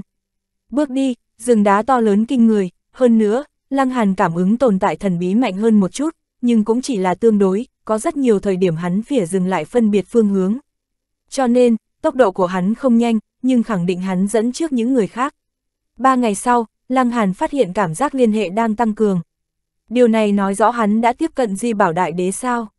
Lăng Hàn hưng phấn, hắn ra tốc tiến lên. Sau khi đi gần nửa ngày, hắn đi trong rừng đá và phát hiện một tấm bia đá. chương 4936, năng lượng hủy diệt đầy đủ. Lăng Hàn quan sát chung quanh, hắn phát hiện kỳ thật hắn chưa ra khỏi rừng đá, sở dĩ có ảo giác này chỉ bởi vì khu vực chung quanh bia đá đều là trống không. Trên thực tế, hắn vẫn ở trong rừng đá nhưng không biết ở góc nào. Tấm bia đá này, Lăng Hàn đi tới, ánh mắt dò xét và hắn nhảy dựng lên. Đó là góc hủy diệt linh đồ thứ 9. Phải biết, tám góc linh đồ trước đó đều viết trên gia thú không biết, nhưng còn bây giờ thì sao, góc hủy diệt linh đồ thứ 9 lại khác trên tấm bia đá. Khó trách hắn sinh ra cộng minh, thì ra là thế. T, chẳng lẽ năng lượng hủy diệt là đại đế đời trước sáng tạo? Như vậy quá kinh người. Năng lượng hủy diệt là cấp độ thập tinh, vượt qua cửu tinh, cho dù là các đời đại đế cũng chưa từng tiếp xúc qua. Khó trách có thể gọi là thiên đế mộ, vị đại đế này rất châu bò, kinh diễm vạn cổ. Vấn đề là, có quan hệ với hắn sao? Nguyên thế giới, đại đế đời trước, giữa hai chuyên này khẳng định có liên hệ, nhưng là cái gì? Lăng Hàn hiếu kỳ, nhưng Hà nghĩ mãi mà không thông. Nhưng hắn không quan tâm việc này nữa, hiện tại trọng điểm không phải biết vì cái gì, mà là tu luyện góc hủy diệt linh đồ thứ 9 đạt tới viên mãn. Hắn bắt đầu quan sát, ông, ước vạn vị diện trong cơ thể lập tức chấn động, giống như ứng hợp với cái gì đó, hình như đang hoan hô, rõ ràng hắn không thể nào hiểu được đồ vật này hấp thu như thế nào, hắn lại biết nên làm như thế nào. Loại cảm giác này thật kỳ quái, nhưng hắn đã kỳ quái 8 lần, cũng không kém lại nhiều thêm một lần. Nhưng qua gần nửa ngày, Lăng Hàn đã nắm giữ góc linh đồ thứ 9. Oanh, năng lượng hủy diệt sôi trào, nó bốc cháy quanh thân Lăng Hàn, thậm chí năng lượng hắc ám âm trầm còn mang theo áp lực to lớn. Bang, giữa thiên địa xuất hiện sấm sét, lôi vân vô tận xuất hiện trên đỉnh đầu của Lăng Hàn. Lăng Hàn cảm thấy ra đầu tê dại, trước đó tâm ma hàng kiếp, nhưng bây giờ sắp có thiên lôi bổ xuống. Đây không phải chuyện đùa, thiên đạo muốn giết người, cho dù là thánh nhân cũng chỉ có một con đường chết. Vấn đề là, thiên đạo vận hành có quy tắc của mình, tuyệt đối không có khả năng làm loạn, trừ phi phạm vào đại sư phá hư thiên đại quy tắc. Ta chỉ nắm giữ năng lượng hủy diệt hoàn chỉnh mà thôi, có cần nổi giận lớn như thế hay không? Ách, Năng lượng hủy diệt không phải chuyện đùa, đây chính là tồn tại vượt qua tất cả năng lượng tầng thứ cao. Nhưng có cần hàng lôi kiếp hay không? Thật sự quá đáng, bang, một đạo thiểm điện bổ xuống, tốc độ nhanh tới mức khó có thể hình dung. Cho dù Lăng Hàn thì như thế nào, hắn cũng không thể trốn tránh. Lôi kích sánh ngang thánh nhân xuất thủ, thậm chí mạnh hơn. Nhưng mà, Lăng Hàn lại phát hiện, chính mình không bị tổn thương chút nào. a thiên địa đang đùa giỡn, bang, bang, bang, thiểm điện không ngừng giáng xuống người Lăng Hàn. Không đúng, không chỉ là Lăng Hàn, ngay cả tấm bia đá kia cũng bị nhầm vào, nó tan thành mây khói. Lăng Hàn kỳ quái, vì cái gì bổ vào tảng đá, tảng đá nhận hủy diệt mang tính đả kích, nhưng bổ vào người hắn lại không sinh ra tác dụng gì. Hơn nữa, đế lộ không phải thiên địa hình thành sao, nếu ngươi không muốn người ta tu hành năng lượng hủy diệt, vì sao lại bỏ ở nơi này? Chính mình thiết lập thiên đế mộ, hiện tại lại dùng thiên kiếp hủy đi, ngươi có ý gì? Dầm dầm dầm, thiên lôi cuồn cuộn, tới cũng nhanh, đi cũng nhanh, chỉ qua 2 phút, thiên kiếp tan thành mây khói. Ách, hủy đá không để lại dấu vết sao? Lăng Hàn nội thị bản thân, hắn bị lôi kiếp bổ nhiều như vậy, mặc dù vô hại nhưng hắn có cảm giác kỳ quái. Cái này tra một cái, lại là để hắn lấy làm kinh hãi, sắc mặt cũng biến thành cổ quái. Hắn dò xét và không phát hiện cái gì, cũng không có biến hóa gì. Bởi vì, trong thức hải của hắn, phía trên đạo quả có một xiềng xích màu đen. Khốn kiếp, đây là cái quỷ gì? Lăng Hàn huy động tay chân, lực lượng kinh khủng sôi trào, quy tắc bộc phát, chiến lực của hắn cũng không nhận được bất kỳ ảnh hưởng gì. a à, xiềng xích màu đen này có tác dụng gì? Đây là thiên kiếp bổ tạo thành, Lăng Hàn cũng không cho rằng đây là trò đùa. Khẳng định có tác dụng ta không biết, hiện tại còn chưa phát huy tác dụng. Nhưng mà, thiên đạo tức giận như thế, hạ xuống lôi đình bổ ta, bởi vậy có thể thấy được, đây không phải chuyện tốt. Lăng Hàn sờ cái mũi, hắn tu hành năng lượng hủy diệt đến trạng thái hoàn toàn, đây là đại hảo sự, vừa vặn cũng trôn xuống tai họa ngầm cho hắn. Mặc kệ, thuyền đến đầu cầu tự nhiên thẳng, ta bây giờ nghĩ cũng vô dụng. Hắn vươn người đứng dậy, đang muốn rời đi, dưới chân hắn sinh ra rung động. Xảy ra chuyện gì, một tiếng nổ vang thật lớn, toàn bộ không gian như bị phá tan, Lăng Hàn lập tức bị lực lượng to lớn cuốn ra ngoài, ở trong quá trình này, hắn cũng nhìn thấy những người khác. Như Đinh Thụ, như Hầu Ca, như thế hệ Hoàng Kim, thậm chí là Tống Lam lưu lại Bắc Hưng Thành. Chẳng lẽ, đế lộ đã kết thúc? Lăng Hàn nhìn thấy, Dương Dịch Hoàn, Hà La, Phong Diệu Lăng đều cảm thấy khó hiểu, bởi vậy có thể nhận ra, đế lộ còn chưa kết thúc, nhưng bây giờ lại là phát sinh biến hóa nào đó cho nên dừng lại. Không gian bị phá vỡ lần nữa, mọi người té ra ngoài. Nơi này là đồng nguyệt tinh, cánh cửa đá kia chậm rãi đóng lại, quá bắt mắt, cho dù là ai cũng không thể không nhìn. Lập tức, thánh nhân lưu thủ ở chỗ này, các tôn giả đều di chuyển tìm kiếm truyền nhân. Đến nơi này, Lăng Hàn lại có thể điều khiển địa mạch, hắn lấy địa khí làm tai mắt, cảm ứng một lúc, phát hiện cửu sơn thánh nhân không ở đây. Cũng đúng, lão gia tử cũng không biết hắn từ âm phủ tiến vào đế lộ, lối đi này quá bí ẩn, người biết lác đác không có mấy. Cho nên, lão gia tử không ở nơi này chờ hắn cũng là bình thường. Lăng Hàn, tiếng quát kinh thiên động địa vang lên, một tên thánh nhân nổi giận, trực tiếp hóa thành cự nhân cao ức vạn trượng, đầu lâu lớn như tinh cầu nhìn Lăng Hàn. Đáng chết, lại một vị thánh nhân diễn hóa pháp thân, hắn hóa thành cự nhân đỉnh thiên lập địa. Còn có vị thứ ba, vị thứ tư, từng thánh nhân đều vận dụng đại pháp lực hóa thành cự nhân, như thế, cho dù Lăng Hàn trốn ở góc nào của đồng Nguyệt Tinh, bọn họ cũng có thể chụp chết. Đây đều là thánh nhân đế tộc, bọn họ đều nghe đế tử dùng thần thức truyền âm biết được, Lăng Hàn ở bên trong lại giết mấy tên đế tử, hơn nữa yêu nghiệt đến mức uy hiếp cả thế hệ hoàng kim. Kẻ này, tuyệt đối không thể lưu, oanh, thánh nhân quá bá đạo, căn bản không cho người ta cơ hội biện bạch, một bàn tay giáng xuống tấn công Lăng Hàn. Thánh nhân xuất thủ, tôn giả cũng chỉ có thể tránh né, hơn nữa nhất định phải xé rách không gian đào tẩu trước tiên, hơi chậm một điểm, hư không cũng bị xé rách. Thánh nhân đấy, đây chính là hóa thân thiên địa đạo tắc, mạnh đến mức không cách nào hình dung. Lăng Hàn chỉ là giáo chủ tam tinh, hắn không có cơ hội tránh né. Một trường đánh xuống, toàn bộ đồng nguyệt tinh rung động, một phần ba tinh thể vỡ nát chương 4937, lừa dối. Lăng Hàn chưa chết, khẳng định chết rồi, thánh nhân xuất thủ, trực tiếp đánh chúng, nếu không chết thì không còn thiên lý. Một màn này, rất nhiều đế tử nhìn thấy, bao quát đinh thụ, Dương Dịch Hoàn đều kinh ngạc không thôi. Đó là thiên tài cực kỳ yêu nghiệt, là người cạnh tranh đế vị mạnh nhất, hiện tại chết rồi.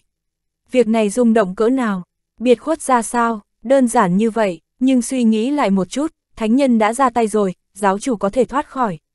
Nhưng bọn họ lại không thể tiếp thu được, Lăng Hàn sáng tạo quá nhiều kỳ tích, cho nên, thánh nhân xuất thủ, bọn họ cũng không dám xác định. Bọn họ muốn tìm kiếm thi thể Lăng Hàn, tiến thêm một bước xác nhận. Nhưng thánh nhân đánh một kích, tất cả vỡ nát, chỉ có ý chí võ đạo thánh nhân cường đại đang sôi trào, cho dù Lăng Hàn lưu lại một tia tàn hồn cũng bị ý chí võ đạo phá hủy. Tại sao phải giết triệt để như thế, không thể bảo lưu lại tàn hồn, rút ra ký ức của Lăng Hàn. Như thế sẽ biết rõ vì sao Lăng Hàn lại cường đại như thế. Nhưng nhìn thánh nhân xuất thủ là ai, mọi người sẽ biết tại sao. Đó là hỏa vân đế tộc ly hỏa thánh nhân, thế hệ hoàng kim của bọn họ đã chết, thế hệ bạch ngân chết, đế tử bình thường cũng sớm chết, có thể nói, gia tộc của bọn họ không có khả năng thành đế. Cho nên, nếu bọn họ không thành đế, tự nhiên cũng không muốn đế tộc khác chiếm tiện nghi, trực tiếp bóp chết Lăng Hàn, diệt đi hy vọng cường đại của mọi người. Mẹ nó, thật nhiều thánh nhân đều mắng trong lòng, bọn họ đằng đằng sát khí như thế, giết Lăng Hàn là chuyện phải làm, nhưng tương tự cũng muốn lấy được bí mật của Lăng Hàn. Nhưng mà, không sao, trừ Lăng Hàn ra, còn có Đinh Thụ, còn có Dương Dịch Hoàn. Mấy người các ngươi, đám thánh nhân nhìn sang đám người Đinh Thụ, ánh mắt uy nghiêm đáng sợ. Ha ha, các ngươi muốn làm gì? Từng thánh nhân xuất hiện, đồng thời hóa thành cự nhân vạn trượng bảo hộ đám người Đinh Thụ, Dương Dịch Hoàn. Không muốn bị diệt tộc thì thành thật một chút, lão thánh nhân hộ tống Hà La nói ra, cây dù đỏ rực chấn động, nó tỏa ra khí tức cường đại. Đi, những thánh nhân này xé rách không gian, mang theo đám người đinh thụ rời đi. Này, trả mạng huynh đệ ta đây. Hầu ca quát to, tay cầm côn sắt thánh cấp, tay trái cầm hỗn độn cực lôi tháp, mặt mũi mang theo lửa giận. Hắn hoàn toàn không sợ thánh nhân, trực tiếp giết tới. Các thánh nhân không có xuất thủ, ngược lại tránh khỏi. Nể mặt đấu chiến thánh hoàng, không chấp nhặt với ngươi.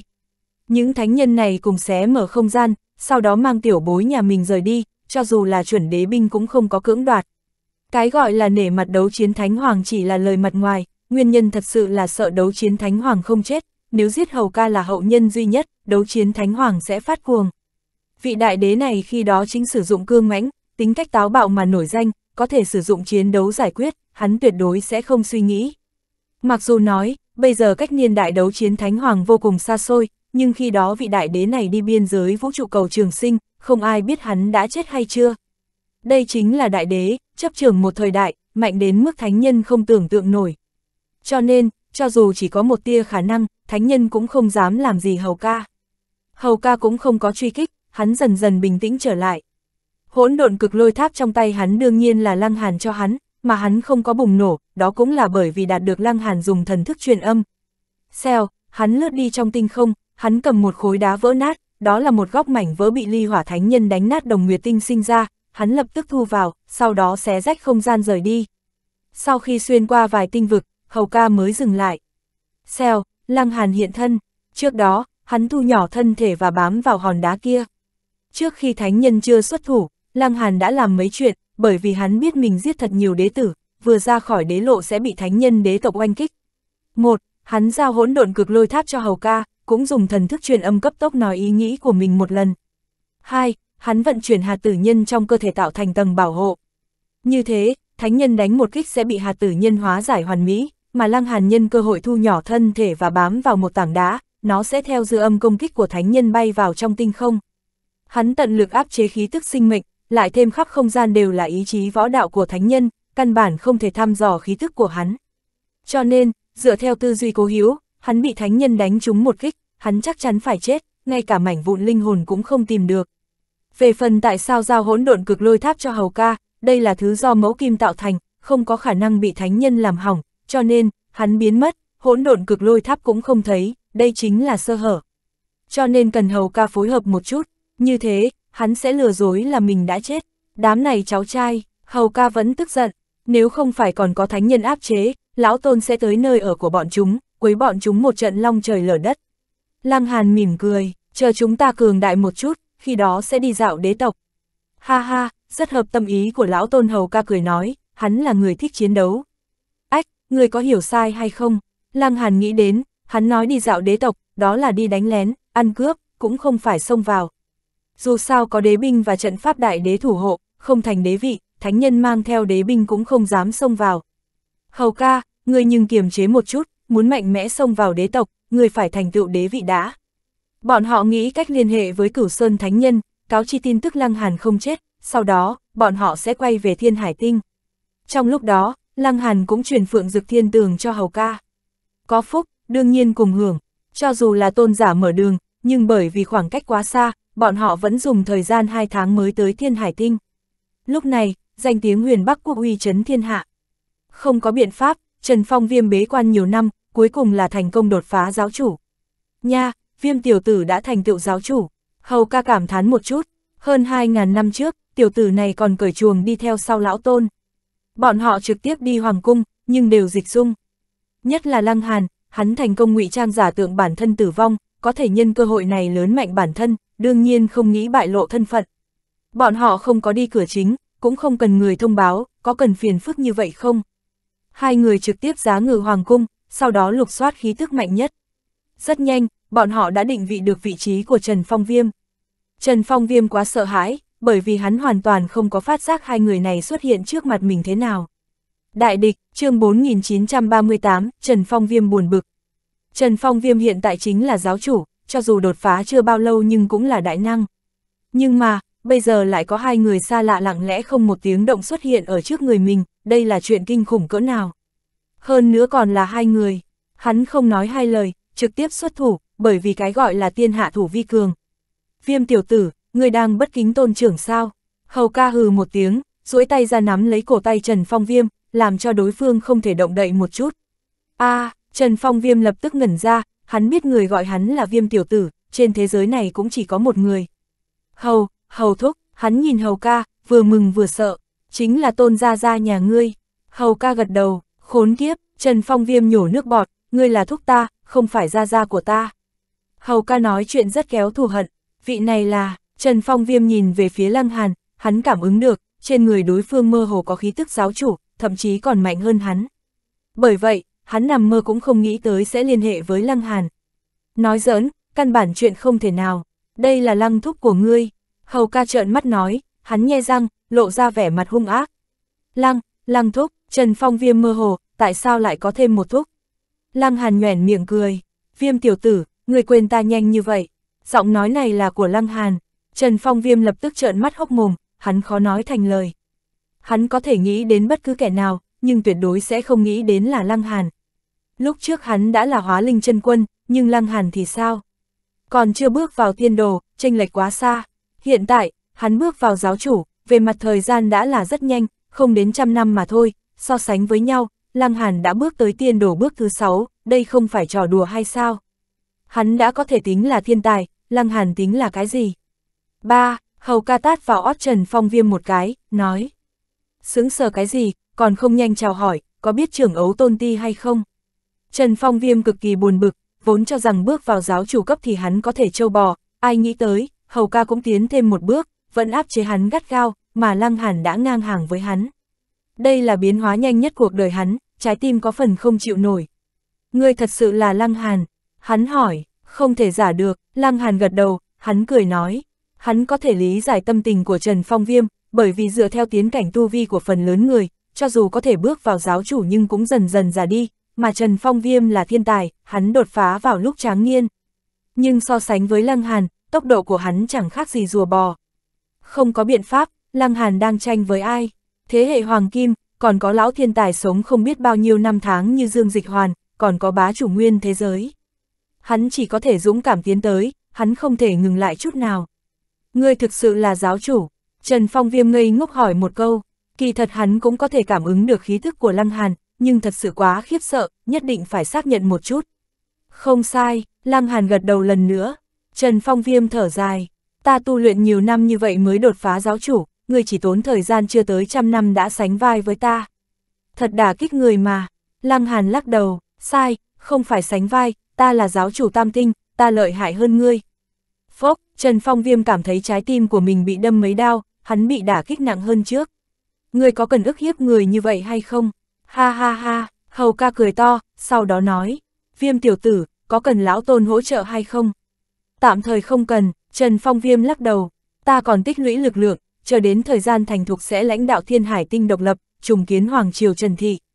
Được, hầu ca gật gật đầu, hắn nói với Lăng Hàn, huynh đệ, chúng ta đi, hầu thúc, Trần Phong Viêm vội vàng kêu lên, ngươi cứ đi như vậy sao?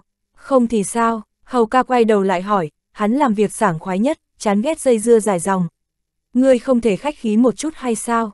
Trần Phong Viêm buồn bực, hầu thúc cũng quá thẳng, may mắn hắn không phải giả khách khí, nếu không thật sự bị tức chết. Hầu ca trợn mắt, trực tiếp cất bước rời đi, Lăng Hàn không có đi, hắn nói, bằng hữu và hậu nhân của ta tốt chứ?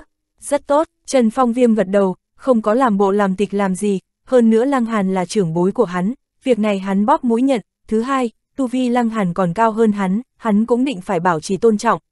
Nhưng con gái và con rể của ngươi rời khỏi thiên hải tinh, đi học viện nào đó trên Nguyệt Hoa Tinh. Hắn lại bổ sung một câu, a à, Lang Hy đi Nguyệt Hoa Tinh.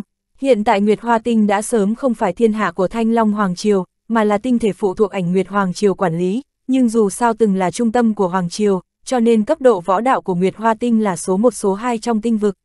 Lăng Hy và Phù Thiên Hành đi Nguyệt Hoa Tinh tu luyện võ đạo cũng bình thường, dù sao nơi đó có điều kiện tu luyện tốt hơn nơi này nhiều. Lăng Hàn gật đầu, sau đó hắn phất tay với Trần Phong Viêm, nghênh ngang rời đi. Trần Phong Viêm, các ngươi đến đả kích ta sao? Ta thật vất vả bước vào giáo chủ, coi ta muốn thi triển hoành đồ bá nghiệp, hầu ca bước vào tôn giả vẫn ép hắn một đầu, mà Lăng Hàn càng khoa trương hơn, kẻ đến sau nhưng lại vượt lên trước, đã là giáo chủ tam tinh. Hắn chính là thất bại điển hình, quá thương tâm, Lăng Hàn quay về trốn cũ, hắn đi thăm bằng hữu ở nguyên thế giới, hậu nhân như Lăng Kiến Tuyết vẫn lưu lại thiên hải tinh, có Trần Phong Viêm chiếu cố, hắn rất yên tâm. Nhìn thấy Lăng Hàn trở về, tất cả mọi người lăng ra, bao quát duyên sinh thiên tôn, vô nhạc thiên tôn đều vui mừng. Lăng Hàn giới thiệu hầu ca cho mọi người quen biết, cũng nói những gì mình trải qua những năm gần đây. Sau đó, hắn lấy ra lượng lớn đan dược, thiên tài địa bảo phân cho mọi người, với hắn mà nói, thứ này không có tác dụng, nhưng đối với đám người lăng kiến tuyết mà nói, nó lại rất chân quý. Những người này có thể đi vào thế giới mới, nói rõ bọn họ đã tu tới thiên tôn nhất trọng trong nguyên thế giới, đã chứng minh thiên phú của bọn họ, bởi vậy, đi vào thế giới mới, bọn có tu vi tiến cảnh rất nhanh. Tiến bộ nhanh nhất chính là kỷ vô danh, đã là chú đỉnh. Nhưng mà, năm đó kỷ vô danh còn là đối thủ cạnh tranh mạnh nhất của Lăng Hàn, hiện tại tranh lệch quá lớn. Lăng Hàn hỏi thăm một chút, Lăng Hy cùng Phù Thiên Hành bái nhập vào Nguyệt Hoa Tinh Ngân Nguyệt học viện, mới đi vào 3 năm trước. Hắn nhớ thương nữ nhi sốt ruột, Lăng Hàn quyết định một người đi Nguyệt Hoa Tinh thăm nữ nhi, sau đó lại lập kế hoạch nên làm cái gì tiếp theo. chương 4939, Ngân Nguyệt học viện. Thăm hỏi nữ nhi đương nhiên không cần hầu ca đi cùng. Lăng Hàn xé mở hư không, hắn đi về hướng Nguyệt Hoa Tinh, sau khi đạt tới cấp giáo chủ, hắn dã nắm giữ năng lực xé mở hư không. Nhưng hắn phát hiện không nhanh bằng truyền tống trận, không có biện pháp, hắn chỉ là giáo chủ, sau khi đến tôn giả thì năng lực vượt hư không của hắn sẽ nhanh hơn truyền tống trận. Nhưng đã tiến vào hư không, cũng không thể lại lui về, nửa đường quay về thì không được, nào có truyền tống trận cho hắn sử dụng. Cho nên, bỏ ra thời gian nửa tháng, rốt cuộc Lăng Hàn mới đi tới Nguyệt Hoa Tinh. Cảnh con người mất, Lăng Hàn đứng trước tòa thành lớn, đưa mắt ngắm nhìn tường thành, trong nội tâm của hắn đầy cảm thán. Lần đầu tiên tới nơi này, đó là thời điểm hắn còn chưa bước vào tiên đồ, nhưng còn bây giờ thì sao, hắn đã là giáo chủ, đủ để quét ngang toàn bộ ảnh Nguyệt Hoàng Triều. Hoàng Triều cũng không có tôn giả tỏa chấn, nếu không, khi đó cũng không cần chắc trở lớn như thế, còn phải dẫn lão tôn giả của Thanh Long Hoàng Triều xuất hiện, dựa vào trận pháp vây đánh. Dù là như thế, bọn họ vẫn để lão tôn giả chạy đi, lưu lại tai họa ngầm. Chỉ trong chớp mắt đã sắp trăm năm, người bình thường cũng sớm quên đi Thanh Long Hoàng Triều.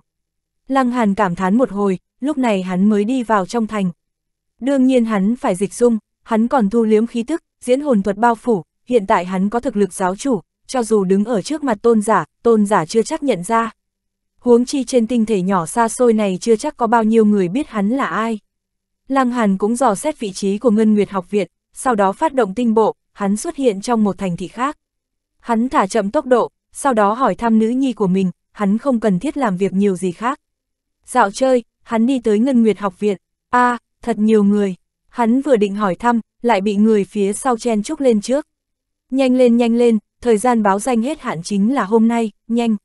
Người phía vừa đẩy vừa reo lên, báo danh hết thời gian, Lăng Hàn bình thản, hắn tiến vào trong học viện, thì ra Ngân Nguyệt học viện muốn tuyển nhận học sinh, hôm nay là ngày hết thời hạn, cho nên, những người từ địa phương thật xa đều cuống lên, như thế nào cũng phải báo danh trước, có thông qua hay không là chuyện sau này. Lăng Hàn tâm niệm vừa động, hắn cười cười, tốt, vậy hắn sẽ thi vào học viện, cũng là đồng môn với nữ nhi vài ngày. Hắn thành thành thật thật báo danh theo mọi người, ở trên tư liệu, hắn đương nhiên sẽ ghi hai chữ Hàn Lâm. Đêm nay, bọn họ đều chờ ở quảng trường học viện. Võ giả nha, nếu không chịu được chút khổ này, tu hành cái rắm gì chứ? Sáng sớm hôm sau, tất cả người báo danh tập hợp lại, tiếp theo là sàng chọn. Học viện chọn đệ tử, đương nhiên sẽ phem thiên phú và nhân phẩm. Thiên phú võ đạo không được, như vậy sẽ lãng phí tài nguyên cùng thời gian, mà nhân phẩm không đạt, cho dù bồi dưỡng ra cũng thành tai họa. Nhân phẩm là thứ khó dùng mắt đánh giá nhất, hơn nữa cũng có thể ngụy trang, cho nên lâu ngày mới biết lòng người, tuyệt đối không phải hiện tại có thể nhìn ra được. Nghe nói, lần này danh ngạch tuyển nhận vô cùng có hạn, chỉ có 100 cái. Mới 100 cái, ai, ta không nghe lầm chứ. Người có tin tức linh thông nói nhỏ tin tức mình nghe được, từ đó dẫn tới bản tán xôn xao. Cho dù như thế, mọi người vẫn không từ bỏ. Bọn họ mang theo hy vọng tới đây, đương nhiên không có khả năng xám xịt rời đi. Mà vạn nhất thì sao? Lần này còn có mấy siêu cấp thiên tài tới, như Đinh Lương, Y Tử Mặc, Phòng Phi Bạch, tất cả đều danh chấn một phương. Cái gì, những người này đều tham dự. Uy uy uy, bọn họ tới, chúng ta chỉ có thể xem náo nhiệt, không phải là bị học viện đặc chiêu sao. Ha ha, nghe nói là Đinh Lương khăng khăng muốn tham gia sàng lọc công bằng, từ đó chứng minh thực lực của mình. Bởi hắn làm như thế, y tử mặc, phòng phi bạch cũng từ bỏ danh ngạch đặc chiêu, nhất định phải tham gia sàng lọc. Xong đời, vốn chỉ có 100 cái danh ngạch, hiện tại mất đi ba cái. Tất cả mọi người thở dài, bọn họ tự hiểu lấy mình, cho dù thế nào cũng khó thành đối thủ của ba người kia. Xem phân khu đi, chỉ cần không phân khu chung với bọn họ, vậy chúng ta vẫn có hy vọng được chọn. Rất nhanh, có lão sư học viện tới công bố quy tắc tranh tài, cũng chia người ghi danh thành ba khu lớn, mỗi khu lớn có thể chọn ra 20 người, 5 người đứng đầu sẽ trực tiếp tiến vào học viện, những người còn lại sẽ tranh đoạt một nửa danh ngạch.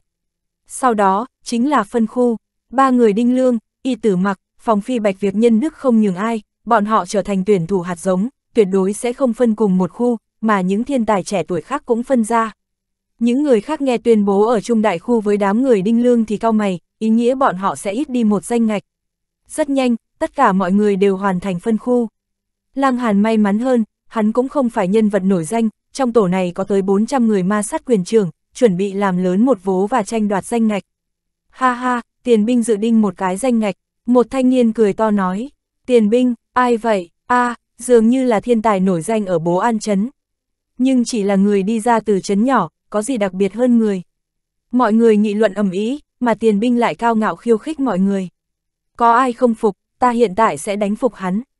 Ta không phục, lúc này có người bước ra, nhưng tiền binh chỉ dùng một chiêu đánh ngã người đó. T, tất cả mọi người đều chấn kinh, có nghề hay không, cứ nhìn xuất thủ thì biết. Tiền binh không thể khinh thường, thấy đem mọi người bị chấn nhiếp, tiền binh dương dương đắc ý, lúc trước hắn vẫn ẩn mình, cho nên hiện tại mới có chút danh tiếng, hắn muốn một tiếng hót kinh người, nếu không, hắn tin tưởng danh tiếng của mình không yếu hơn đám người y tử mặc. Hả, hắn nhìn về phía lăng hàn, chỉ thấy người này bình chân như vậy, dường như căn bản không có đặt hắn vào trong mắt.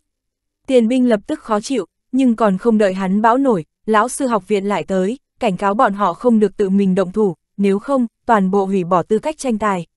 Lời này làm tiền binh không dám làm loạn, nhưng ánh nhìn về phía Lăng Hàn đã mang theo địch ý. Tất cả mọi người đều nhìn vào trong mắt, đều cảm thán thay Lăng Hàn, thầm nghĩ đây thật là tai bay vạ gió, mà tiền binh cũng quá tiểu nhân. Sau đó chính là kiểm tra thiên phú, dùng đại khu làm đơn vị. Lăng Hàn tùy ý ứng phó một chút, tư chất không được tốt lắm cũng không tính kém, đúng quy đúng củ, mà tiền binh, thiên phú võ đạo của hắn là cao nhất.